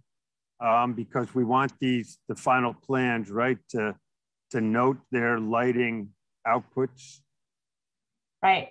Well, so the zoning code would govern the um, um, the amount of light. So just because they don't show, I mean, the lighting plan can change after the board approves a plan, so long as it meets the basic um, zoning requirements. I think you raise a really good point, particularly um, with respect to the bollard lighting that they're showing even on the ground, on the surface, on the site. Um, those LED bollard lights can really create glare off-site, far off-site, even though there's no technically no um, uplighting, but they're they're really those bulbs can really be glaring and visible from you know, uh, across the horizontal plane. I would be concerned about that on the roof, particularly because if, you know, if it's near the edge and people on the ground across the street, you know, might be looking across the skyline and then just be blinded by these, um, what seems on a spec to be a low profile light. So I think it's really important to make sure that those have full cutoffs um, or that you know, if they're using, there is a, the, and the applicant didn't mention in this meeting because it's not so important as it would be to the Central Business Architecture Committee, but I um, believe there's a parapet wall around at least the rear portion of the site, if Correct. not all the way around. So that's an opportunity to maybe hide some lighting so that there's maybe there's that same sort of step lighting or um, lighting that's maybe um, against that parapet wall so it doesn't rise up above the parapet um, that can provide enough lighting for folks who are, you know, being entertained um, with their martinis on the rooftop deck. Um, so, but I, but I think that's important to understand. And um, I think if the board is concerned about any changes to the lighting that might be on the on the roof that you could set some parameters about the type of lighting that you know for example that no fixture can rise above the parapet or something like that um, if that yeah. seems amenable to the applicant we would be certainly willing to do that and certainly willing to you know have that be a condition where we share the lighting plan for approval once it's developed um, all of that sounds completely reasonable to us, and I think we share the same goal. So if that's an appropriate way to handle it, you know, some kind of condition or something, um, uh, I think that would be great from our point of view. I think a condition is, asking, uh, I think a condition asking um, for review of the lighting plan once it is uh, complete makes most sense as, as opposed to sort of like trying to divine in advance or constrain you from the outset. Um, I'd rather see you try to comply with what you say you want to do and right um, and and then approve or, or not or suggest changes from there. I, I would suggest that we just make them come back if they want to do something that's not already approved in the zoning. The zoning is pretty uh, extensive in what it defines. And I mean, are we afraid yeah, of waking okay up that. the cars at Ernie's garage across the street? I mean, what's the problem here? I mean, this is a Dave, this is a this is a, a commercial district. I, I, hardly see that this is a major issue, and, and the zoning is very explicit in what kind of lighting is allowed. So if it's far different from what the zoning allows, we can look at it, I suppose, but it hardly seems like we should be micromanaging it at that point. I'm, I'm sorry, David, but every major plan that we have, the developer, the applicant provides us with kind of the, the lighting limits that go into the record as as what they're going to provide now and five years from now. And then if he, he or she wants to come back for an amendment, they do that. We can't just um, go by the best faith thing and hope that the building inspector is going to come by and make changes once there's some complaints. It's much like a landscaping plan or the stormwater plan. Well, George, Things even when they give us the, the foot candles, we're still relying on the building inspector to, to check the foot candles, right? Sure, sure. Yep. But at least we see them. We see the foot candles in all parts of the property. And they did a great, they they showed us all the cutouts for the, the different kinds of fixtures they're using, which is great. Um, yeah, but my concern is that there's this huge hot spot in the center of town um, that does lots of things when we're really trying to limit our lighting, especially, you know, after 10 o'clock.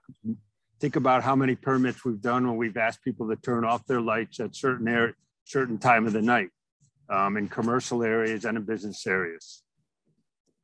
I just my, my, my worry is that I, there's there's some significant design time that takes to, to figure out where their condensers are going to go or whatever and uh, else happens on this roof. And it might be i don't know what's going on with their financing or whatever. It might be a year. I don't know what the zoning board the planning board's going to look like at that point. I just and then they're sucked in again to whatever random things that people want to talk about at that point. I think this is a good project. We should be encouraging it to go forward. The zoning outlines what's legal and what's not legal. And if they say we're going to comply with zoning, I think we should say that's fine. I don't care that we've done it in the past. I mean, that's irrelevant. Maybe we shouldn't have done it in the past. I, I think it's, I think I completely agree. And I also think, I mean, the difference is, is that, I mean, the times where we talked about like shutting lights off at a, in, at a, in a, at around a school, you know, that was in a residential area. This is a commercial area, and um, you know, as long as everything meets uh, meets the code, um, I, I think that we should we should be encouraging these types of projects. I would also add, and uh, and then I want to get to Mr. Whalen, who's had his hand up. Um, I um, I do agree with that. I mean, I definitely you know put uh, you know suggested the approve something after it's designed as as opposed certainly to us now sort of arbitrarily coming up with things that we think would would um, you know prevent a, a, hypothetical issue down the road. I, one thing I really like about this project and the this, the design of it is the way that it extends. It truly extends downtown a little bit further down King Street in a in a meaningful way, and that comes with a different vibe, a different. Um, you know, I I mean, we joke, but if it ever did become a, a club or a restaurant or um, a bar up there, um, or if the use of it by the residents um, you know, meant that they, you know, hung uh, hipster bar, you know, beer beer garden lights as are so popular these days. I, I don't know that I would I, I would I think that would be fine. I think that would be an extension of downtown and the vibe downtown and what we're trying to do to accommodate downtown um, and to develop and grow. Uh, so I agree with that. And the, the main point is I don't want to constrain in advance of design um, those kinds of things. Um, and that would be my inclination. So, Mr. Whalen. Well, I, I don't know what my rights are, and I imagine they're extremely limited because zoning has been declared. But uh, just to let people know, there are second floor and uh, third floor apartments uh, in my building that would be dramatically impacted by any sort of nightlife um, on the rooftop. Okay, and, no, that's and, good. and, I'm sorry, and light. And light, okay. Um, that's that's helpful to know and understand. Um, anybody else have further comments about this? Or? Um, yes, I have some other comments, but unfortunately, I feel like I'm being painted into a uh, a, a non-business supporter here. But I'll I'll keep going. Um, how are we handling refuse and uh, garbage collection here on the site? Jeff, you So want to take I- that? Yeah. Yeah, go ahead. Um, yeah, David, you may want to, you may have more details on it, but I know there's provisions for uh, a trash chute uh, central to the lobby area, and there will be a trash compactor and trash room on the lower level. Um, and the the plan is that we'll we'll contract with a, a private hauler to you know pick up um, you know pick up the refuse on a on a schedule that um, you know works works for the residents. Um, don't know exactly what that you know schedule that what that frequency is yet, but um, you know all of that will be handled you know inside the building, so we don't need an exterior dumpster or, or trash receptacles. Good, thank you. I thought you said you had a couple of comments, George. Anything else? There's a large tree in the uh, the northwest corner of the current site. Um, was that that's coming down? I understand. There's the a- on the street side. On the street side. That There's a, it's a large locust. that one. So There's there's a clump of locusts right there. Yes. So those And those are coming? will- those are coming down. Yes. And they were in the calculations for the other tree removals? Well, these none of these none of the trees in that clump were were of a size that um, were subject to the. Ooh. Jeff, are you sure it was a clump? Are you sure it isn't one trunk that has many branches? Are you? I, I, I thought it was one large tree that maybe Um, wasn't calculated, tree to be removed. I'm, Yeah, well, that's at least, I mean, according to our surveyors who were out there just last month, um, and I, you know, I could, we could confirm this just looking out the office. Um, but I'm, but I'm pretty sure it's a, yeah, it's a clump of, a clump of, uh, trees, not Uh, just one large I one. can pull up the street view and then there can be no more mystery. There we are. Good.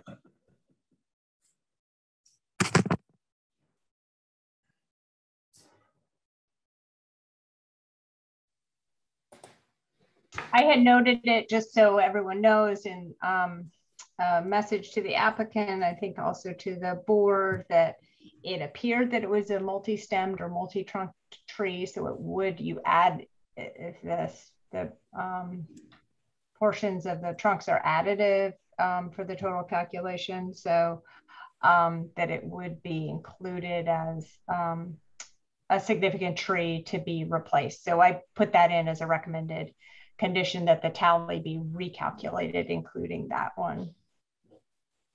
That's typically how the tree warden would um, calculate um, dimension. That makes sense. And it, it's not at DBH, Carolyn, just to clarify. It is, but you add the multiple trunks together to get to the DBH. When it's when it has, I mean, this, you know, you can't really zoom in too well on this, so I haven't been there to look at it myself, but it looks like it's stemming from the same root ball. Yep. If the black locust, it probably is. Yeah.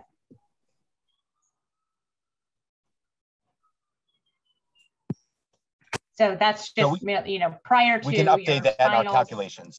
Yeah, so prior to finishing plans, just, you know, flip that to the other side of the equation and um, that can be taken care of prior to your final sign off um, for certificate of occupancy.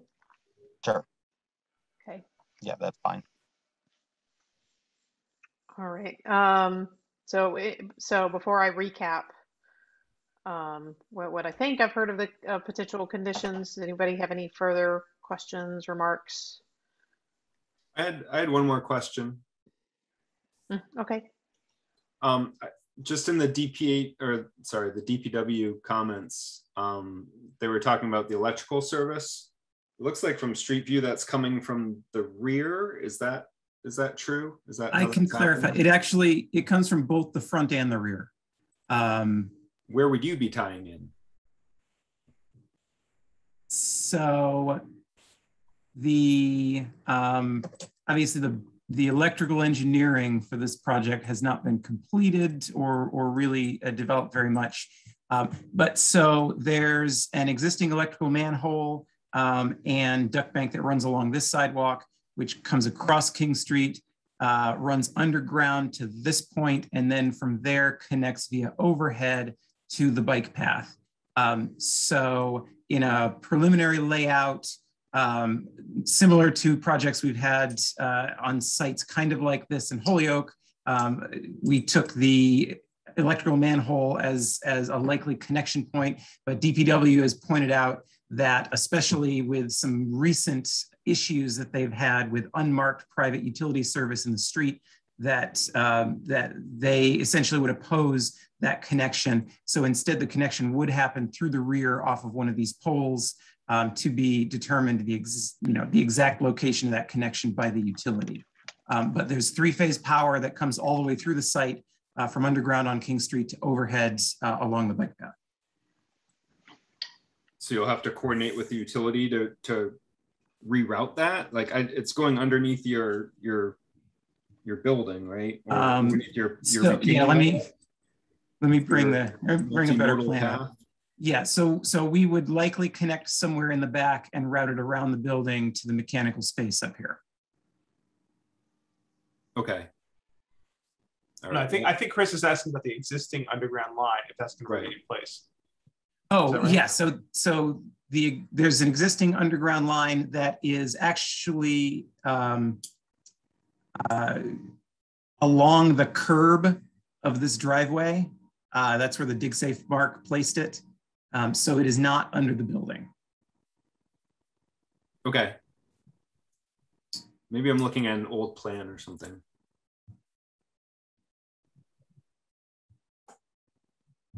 It just seemed like there was, from your survey, there's the overhead wire. What it was hitting a pole that's basically under your retaining wall now. Uh, the poles are all actually on the Whalen side of this property line. Um, and I think this plan will show it more clearly. Um, this is one pole here. Mm-hmm. This is the Yeah, first the one. next one? Yeah. I don't So mean to be I'm- difficult, but is this, how is this discussion furthering something that we have pur- pur- purview over in, in a condition? I, I, I, if there's, if it's getting to something that we need to set as a condition, great. If not, can, Okay. I'm, I'm I'm just wondering stop. where this is going. I withdraw all comment. It's all right. I, I don't mean to shut it down. I just, us non-contractor engineering type people, uh, I, I want to know what condition it's going toward. Um, is there, okay, um, I, uh, do, so if there's no other further questions for the, um, for the applicant, um, do I hear a motion to close public comment? I just have a couple, I just, I don't know if you want to close public comment. I have a couple of issues about that you all didn't talk about related to conditions and some of them incorporate DPW comments. You all can certainly discuss those outside of public hearing uh, or after the hearing's closed, but I just want to make sure that you are aware of those. Uh, yeah, no, please go ahead. I was going to recap what was on the, um, the notes and my notes of what I think has come up in Okay. discussion. Okay. So please go ahead. Sure. So um, just to um, uh, bring in the DPW comments that um, Chris State started sort of um, discussing, there were some other comments from DPW about the um, depth of um, pavement for the bike path, wanting sort of updated plans that um, have that reinforced from a uh, one and a quarter inch depth to one and a half inches. Um, and um, that should be shown in revised plans in addition to the other issues you all have been discussing. Um, and um, that uh, operation and maintenance plan for the stormwater system should be um, provided to um, staff uh, before the applicant records that, and that should be done before the start of construction. So that's all in place. That's a typical requirement when there's a um, you know new stormwater infrastructure on a project of the scale. And um, there were some minor issues related to the tree planting, other plan details that should be um, updated. There was a tree planting detail that um, um, should require that if wire baskets are on the new trees, they need to be removed entirely, um, as opposed to just being pulled back partially. Um, and tree protection should be installed prior to construction, um, and the applicant should uh, submit a statement from a certified arborist stating that that tree protection has been installed in accordance with um, the appropriate protection measures for those trees. Um, and I think we talked about the ramp sidewalk ramping up already, and that seemed to be clarified in the plan. So I'm not sure the original statement that I given to you all about that would necessarily need to be included as a condition. Um, and then we also talked about the tree replacement um, um, calculation to be retabulated. So that's actually, those are the comments that I had that incorporate some of DPW's concerns as well. Okay. Um, any further questions or comments about any of what Caroline just uh, talked about? Okay. Um, So with- yeah, I have a quick question. So within our conditions, how are we going to handle the lighting on the premises? There's one condition that talks about shielding the bollards. Does that satisfy the board in terms of lighting requirements? Well, I was going to suggest I was going to save it for uh, the board discussion, but my my thinking on that is that uh, that when is that I'd like them to bring back a lighting plan when when they have it for for approval. Um, I mean, that would be my suggestion for a condition um, rather than kind of pinging separate issues that have, have been identified and hypothesizing about future ones that could come up. And so that we can look at comprehensively at what they do and take into consideration the neighbors that we now understand. So you know, Marissa, are you close. saying you don't want to approve this until they bring a lighting plan? No, I, can we, can we approve it with, with the condition that they bring back the lighting plan? Carolyn? Yeah, so you can approve the whole project and, and say that prior to construction, they have to come back to the board with a lighting plan, um, the final lighting plan, um, that will be for, um, final sign off by the board, um, or they can, you know, start construction so that you see what the final plan is for lighting. And that doesn't, that can be sort of segmented and separated out from the overall permitting. Right, and well, because it, it seems like rather than the, or, or if there's a, I guess that's my question, is there, is there a better place to bring back that plan a little earlier in the process than sort of like final approval? Or, I mean, I just don't know at what interim point um, we should say, we want to see your plan. It needs to be in place before you start you know, getting. Well, I mean, far. it's really, uh, it's up to them, you know, they're, they have some work to do before they break ground. So in the interim, they can, uh, you know, they could bring it back anytime, but the final opportunity would be before they break ground. Essentially, they have to have the final okay plans approved, but that gives them flexibility that they can decide when they're ready to come back. Okay. I actually think it's a great idea, Marissa. Well, and I credit George as well for, for I, bringing I, up I think it's, it's George's idea. uh, uh, I'm being very chick about that, aren't I? Deflecting the, um, but I, I want, I'm cognizant of George's uh, concerns as well, and I'm concerned about the neighbors that we heard about from Mr. Whalen. So I want to make sure we address that um, when we have a plan. Um, so, um, okay, so I'm a little bit, uh, Carolyn, you, you said a lot of things, um, and as I'm a little bit at a loss as to what of those things um, ought to be articulated as conditions. Um, uh, so, well, actually, let's come back to that.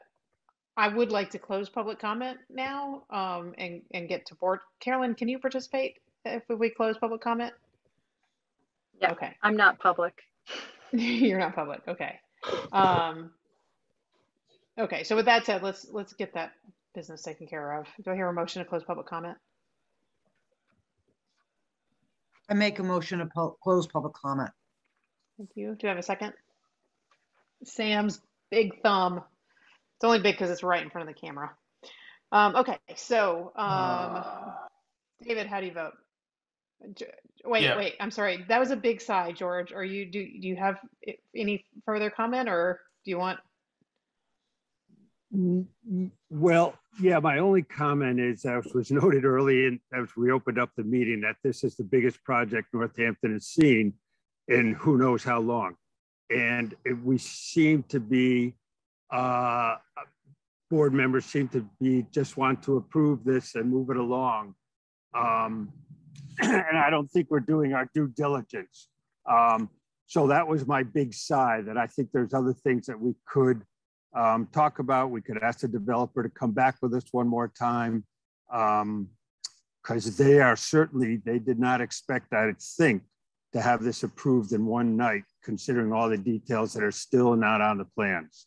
Um, so that's my comment. So, um, so I, I wouldn't be in favor of closing the public comment right now, but of course I could be outvoted very easily. George, George, you're you're free to ask them any of those questions and to come back with more information. I mean, you're free to ask them that if you want. I mean, but if you don't have questions, we don't want to keep them coming back just because it's a big project. They have to come back. There's no, that's not a rule. Well, well, I think I brought up the one about the um, the, the lighting plan not having uh, enough specificity there. There was another comment about the uh, the electrical drawing, the drawings for the utilities that they haven't been worked out yet. Um, so, and I think there were some other ones that I, I can't put my thumb on right now um, that uh, they were certainly, they themselves realized that they hadn't done their own um, preparedness for this meeting. Um, so we're all very trusting at this point that everything's going to work out fine. I don't. Well, uh, George, I don't know that I'm. I'm trusting that that eh, on their good faith. I. I have. I'm. I have. I understand the the the zoning and the building code regulations that they're that are going to govern them. In addition to us, I mean, like our discretion is is uh, is pretty I, I guess I, it's not it's not a matter for me of of that I, don't think it's the purview of this board to have them nail down every last uh, detail before we approve it. I think we have oversight as the project goes on um, with the other parameters that are provided by the zoning. But but I mean, you have a different view of it. But I I just don't feel like I have much to contribute to a in-depth, detailed discussion about where the electric lines are coming in. I, I, mean, was and I don't begrudge Chris for only having that discussion. that- I just don't know what, what I, why that, how that's in the purview of the, the planning board at that granular level. my my worry about that one detail is um, that's kind of setting the placement of the building, uh, and I I don't understand if that's a EverSource easement or or what's going on with that underground electrical and those overhead lines. So, um, if if part of their project rests on relocating utility poles on another person's property, you know, uh, I I don't know. It, it doesn't sound like it it works the way it's drawn right now. Well, I mean, I don't, I don't necessarily disagree with you. I just, I don't, I mean, but that is their issue to resolve if it costs them more money or they have to negotiate with a, a, a, a, a neighbor and abutter or, or something like that. Um, I, I, for the purposes of us, we have to look at whether or not it complies with complies with the zoning laws and whether or not, you know, we, we, we have limited discretion to, to turn it down and delaying doesn't seem to be, I mean, oversight, yes, continue, continuing oversight of this big project is going to come, but I don't know why we would delay it. I I see this kind of like a, you know, if, if, if there's some ConCom issue, we can't give them zoning approval because ConCom hasn't approved. It's, those are two separate oversights, you know, we, the zoning itself. I don't think that's an I would just say that if there was something about the utility location that required an adjustment in the site plan that was big enough to then warrant, it might warrant them having to come back for an amendment. So um, if something dramatically changes, then you would have to see it again. And so that's the risk the applicant is taking by not actually fine tuning everything and maybe not being able to get what they want. But that just means they would come back for an amendment. I think one of the bigger issues that, about the electric utility, which would be a planning board site plan review issue as well as a central business architecture committee review issue, is if there's a utility box that has to be um, located on site, that it not be front and center between the sidewalk and the building. Um, you know, we've had project, new projects that have been approved and that part of it, the connection wasn't part of the um, review. And for instance, fly by night, there's a big ugly box right in the pedestrian view and access to that building. And so I think that's probably an issue that makes sense to either the planning board or central business um, identify as a site plan issue that it has to be set back you know, behind the front facade of the building, that it can't be between the building and the street if there is such a box. Um, but then you could allow the rest of the details to be worked out by the applicant. Um, and to the extent that it doesn't affect the site plan that you've approved, then you won't ever see it again. But you won't have a need to see it again. And just to chime in on that, I think Jeff or Chris, you were mentioning that in all likelihood, we're going to be servicing the building from the rear of the property, which could be a happy coincidence to avoid all of those undesirable outcomes. Right. Yeah, all indications are now that the DPW would like us to serve it from the back of the property, from those, from that service back there.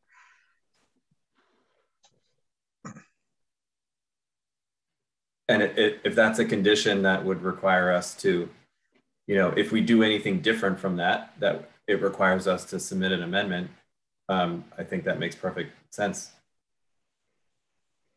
I also feel like the fact that they're going through the CBAC or the central business architecture process is far more uh, arbitrary and, and uh, arduous than any zoning issues that I mean I, I, don't think anything that they're asking for is is is all that far past you know what what a sort of by right reading of the, of the zoning is so uh, I think a lot of those issues are being dealt with at the Central Business Architecture Committee, and it does not help the city at all to have that happen on a dual track process. I mean, just if any, if you want to have no housing ever in Northampton, let's have two committees looking at the same issues without communicating with each other. I mean.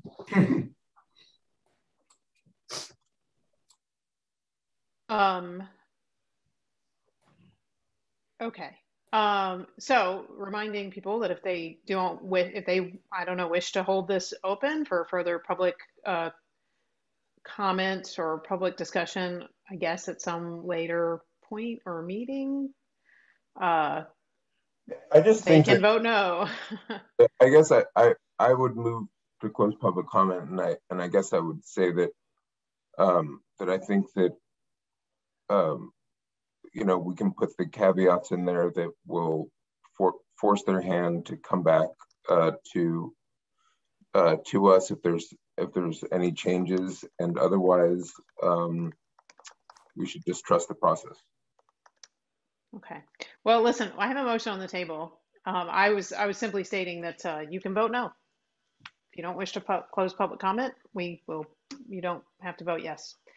I think Um, once again we're in the middle of voting here. So I know, I know. Well, and I opened it because I I, I uh, responded to, uh, to to what I heard. So, um, David, I still vote yes. Chris, Yes. Sam, Yes. Corinne, Yes. Krista, Yes. George, And I'll still vote no. and I vote yes. Um, I um, so with public comment uh, closed, um, I I guess I would just like to clarify that if we were to approve uh, s- something tonight, uh, what it would be and what the conditions would be. Um, and that sort of gets back to what I said to Carolyn earlier. There was a long, uh, a kind of a long laundry list. I'm not sure how it boiled down to a specific list of conditions. Um, and so I wonder want- if if you could say that again, but in the format of conditions that could be proposed. Sure. Um, see.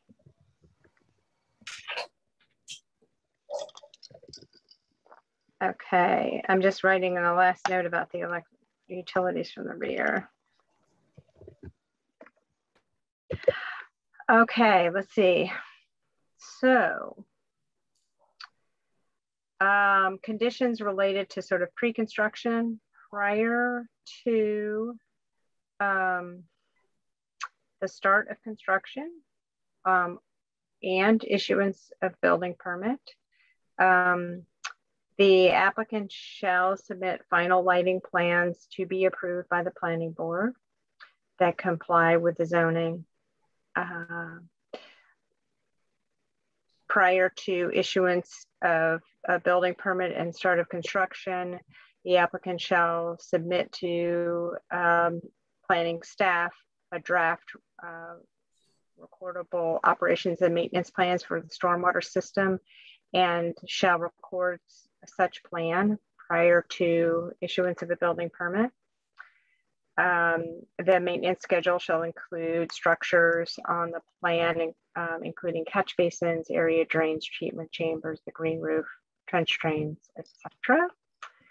Um, plans shall be amended to um, include tree protection details, um, tree planting details in compliance with the city's tree planting guidelines. Prior to construction, tree um, installation of tree protection as shown on the plan shall be performed and written certification of such tree protection shall be submitted to the Office of Planning and Sustainability by a certified arborist. Um, the building shall be served by electrical utilities coming from the rear of the property. And final tree replacement shall be planted on site or payment in uh, lieu of tree replacement in accordance with section 12.3 shall be made. Um, and that's prior to certificate of occupancy. Um, I do have that uh, reminded me of one other issue that um, the board um, um didn't discuss. Um, I think it came um, up in the DPW comments. It did come up in DPW comments about tree planting um, if there was room for tree planting between the building and the, and the street because of the setback. Typically in central business district, um, um, with a zero setback, trees along the frontage are not required, but the zoning would otherwise require tree planting. Um, so I don't know how the board feels about um, since they are going to have to do tree replacement as part of their um, mitigation. Um, potentially one tree could be located in that in between the building and the street as part of their replacement in a in a you know structural soil or some other um, tree filter box that's appropriate for a tree tree planting location. So um, that could be part of the tree replacement um, um criteria if the board felt that was appropriate. And that's all I have.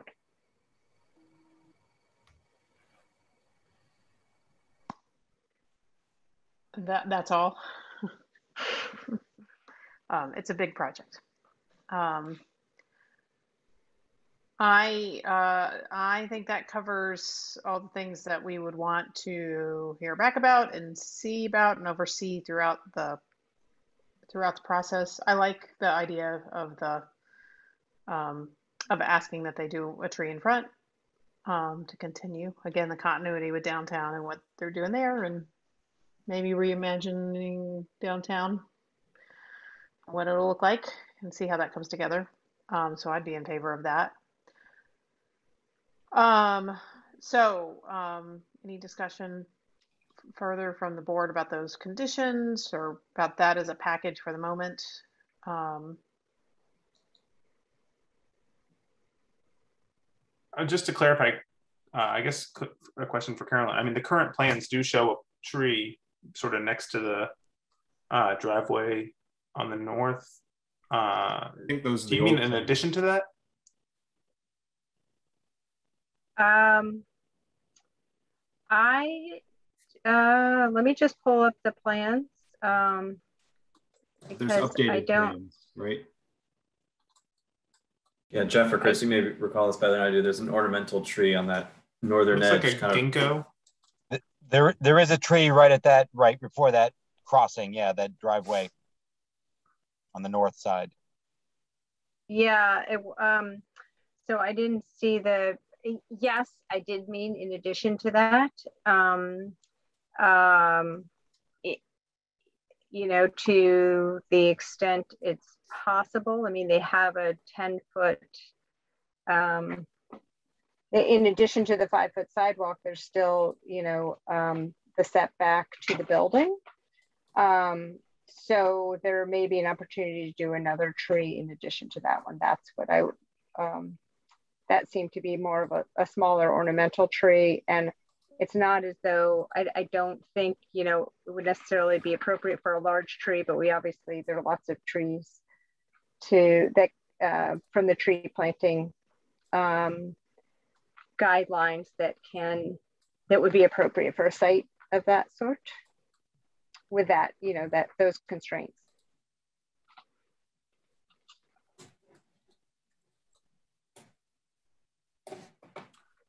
What's the overall width of the site? Sorry i don't have it here. Um, the, the frontage is how long You mean from the depth from the back of the street No. to the back of the curb to No, the just the frontage, the length of frontage is, uh, here we go, uh, one hundred and thirty. Yeah. Okay. Yeah. So we have a driveway and then a street, then something like a street tree, and then we have another eighty feet or something. Yeah. Yeah, that seems, I like that. Let's make them put twenty trees. No, I mean, you could fit a couple trees in there, it seems like, seems like a reasonable uh ask. All right. And it's pretty, pretty stark there on King Street. It is. Um, okay. Um, anybody else? Any last thoughts?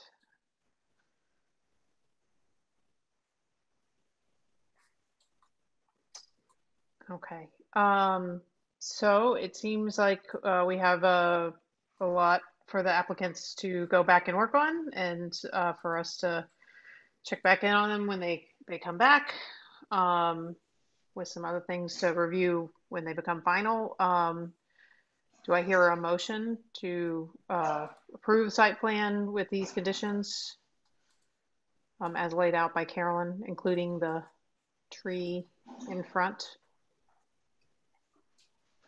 And not scare off any new people. You don't have to recite all the conditions. I think we do need to be clear if we are going to ask them to add another tree to be a little bit clearer about what we're asking them. Uh, is it, are we asking them for one more tree in front in the front of the building? Is that? I don't know. I think Carolyn suggested one. You were the one who tossed out 20. So Yeah, somewhere between one and twenty trees should be added to the front of the. Uh, uh, With 80 feet, that's not enough room for 20 trees. not twenty, no, but you could do two. I mean, you could do them every The thirty feet. The standard is one per, yeah, Yeah, 30 feet. So they could do two additional. all right. Two trees would be better than one tree. let let's say, uh, just just just for uh, technical reasons, let's I mean say at least one. I think it- it- there could. I would. That's what I would do. Okay.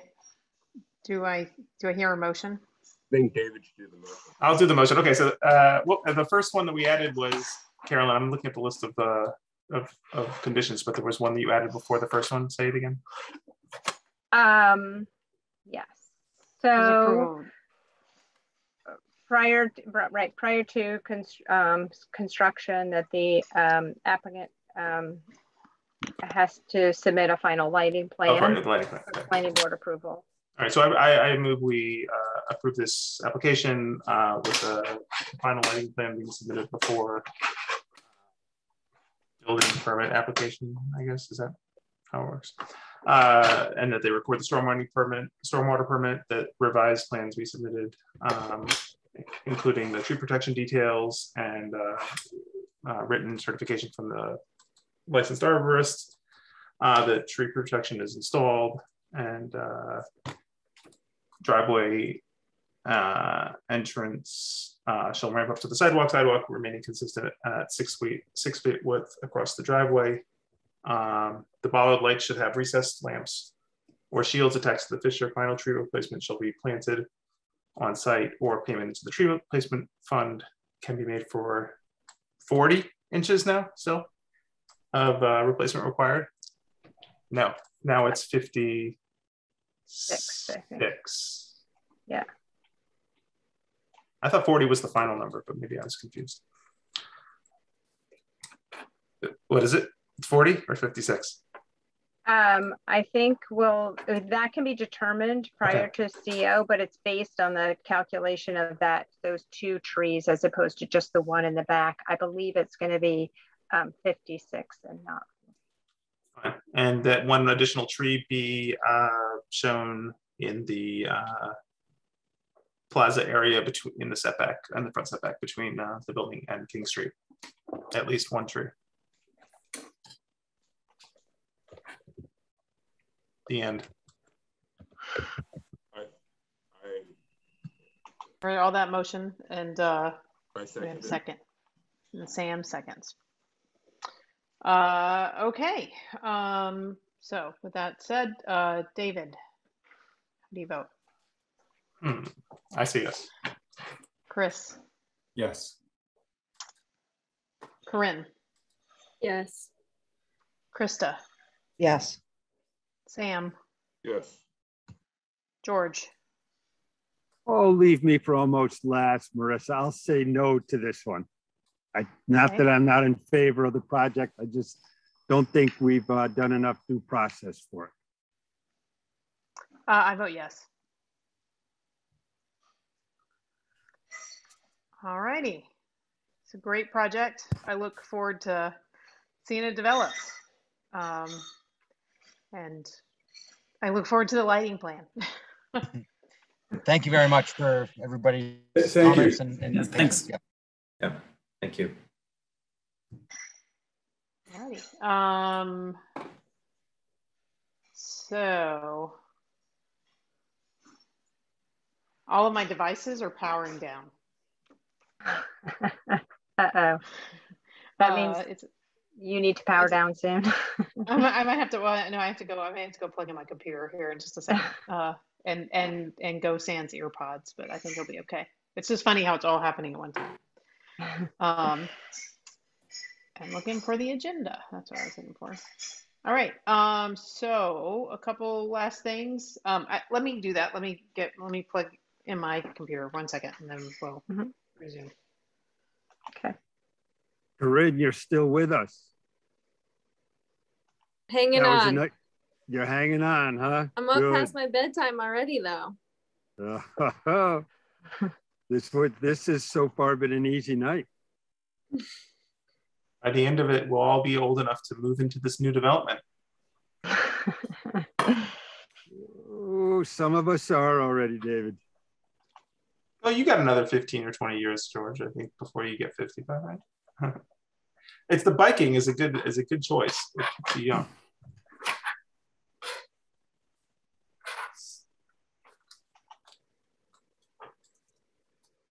Are we doing minutes? Is that what we're doing? Yes. well, we have ANRs and minutes. All right, so, so we just have the, uh, one set of minutes to review? Yes. Okay. I, I I vote to approve the minutes.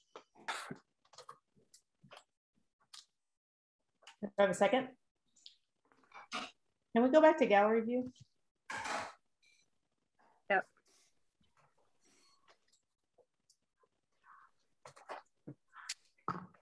Now, do I have a second? Second. Second. Okay, thanks. Uh, all right, um, so, um, on the motion to approve the minutes from the previous meeting, um, David, So just I wasn't at this meeting, but for Corinne's education, I'm still going to vote to approve these minutes to show that it, it does not matter if I was at the meeting or not. it's, it's true, I didn't, I failed to ask if anybody had any uh, omissions or, uh, amendments. I wonder if I should go back. Um, Actually, I'm going to table the motion for just a minute because I didn't ask. Does anybody, did anybody see any, have any corrections or additions or uh, to the minutes? Okay. Nope. I, I shall resume the vote then. Um, so David already voted yes. Do you res- re- persist with that vote? Okay. Um, Sam, Uh, yes. Chris, Yes. Corinne, Yes. George, Yes. Krista, Yes. and I vote yes as well. All right. So Corinne, now we're going to do A and R's. And here's where we listen to Carolyn and she tells us some things and then we say we vote on it, but you can't vote no.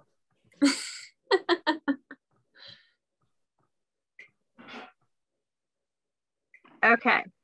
So the first, the an A and R is an approval not required, which means subdivision approval is not required by the planning board, and a subdivision is the creation of a street. So what I'm showing you on this screen is a swap of land from one parcel to another.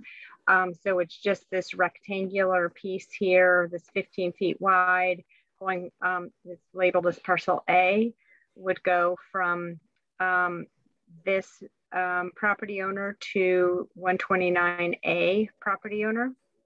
So from 170, 117 to 129 um, to add to 129A's lot. So there's no new parcel being created. It's just a transfer of land. So I just need a, um, a vote to endorse this plan that it's um, not a subdivision plan. I move to endorse the plan. Second. All right. Is that Sam? Yeah. Hearing, uh, having a motion to approve uh, and seconded. Um, Corinne, how do you vote? Yes. Sam, Yes. Oh, yeah. Chris, Yes. David, Yes. Krista, Yes. George. Yes. I also vote yes. Okay, so we have another one. Um, that is the creation, and this case, it is a creation of a lot, but it's on an existing street um, on Sherman Avenue. Um, so there's this one large parcel, there's an old garage set at the rear.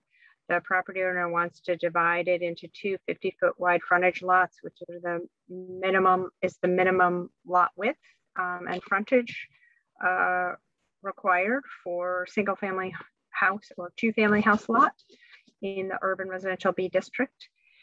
So they're showing adequate frontage on an existing street. So it's not, it does not require a new subdivision road to be constructed.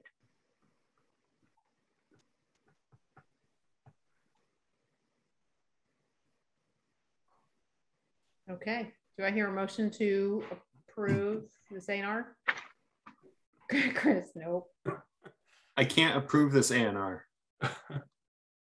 So moved. So moved. Uh, uh, no, but seriously, can I have a motion? No, no, so move to the approval, not to Chris. Sorry. I don't know what Chris is talking about. Well, approval is not required. We can endorse the Oh, plan. oh, right. We can okay, endorse, sorry. that's right. Okay, that's right. We'd like to endorse an A and R. You're right. Thank you for the, the more precise language. Uh, so a motion to endorse the A and R Yes, so moved. and a second?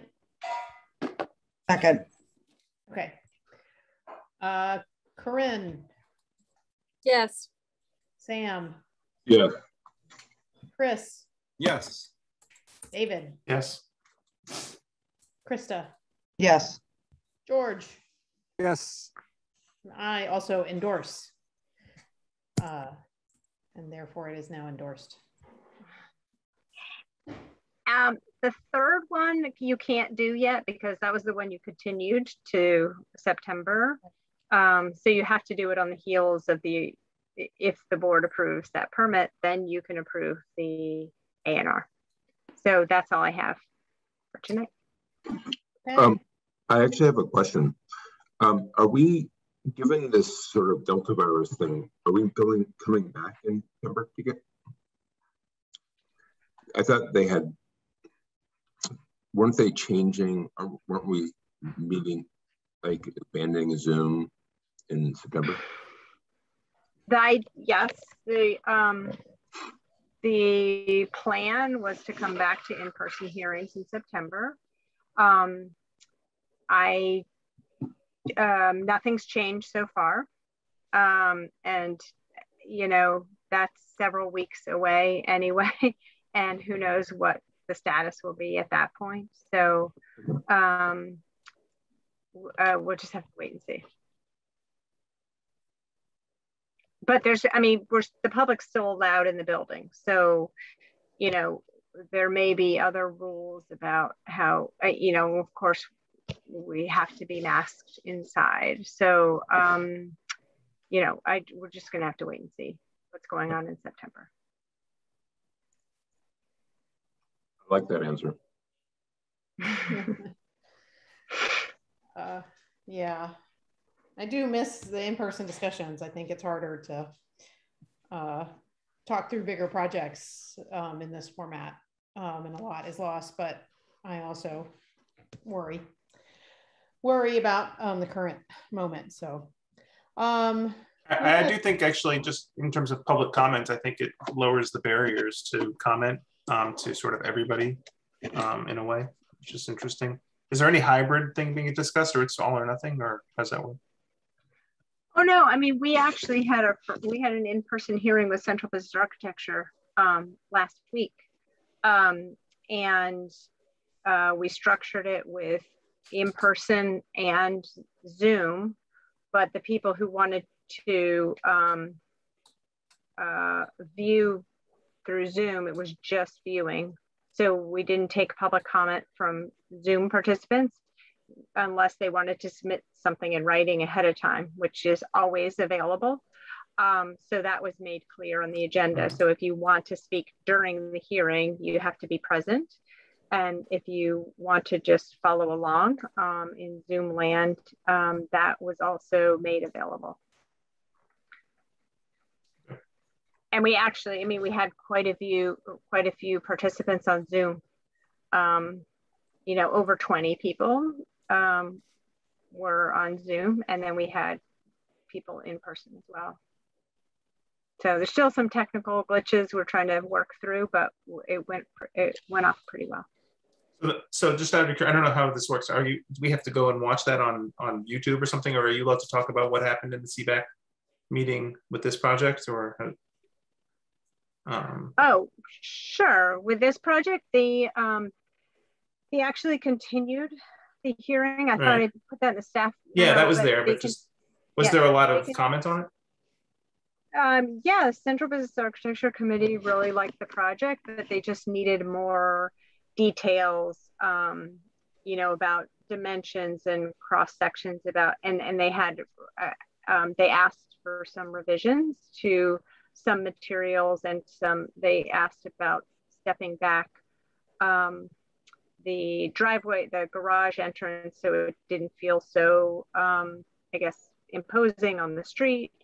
Um, and so the applicant's going to come back in October with those changes, but they were all, um, you know, it was a good dialogue between the applicant and the committee. Uh, the committee was very supportive of the project, but just it got down to the, the real details of materials, um, the the um, just indication of the um, size and, and, and um, dimensions of those materials just weren't spelled out clearly enough on the plans.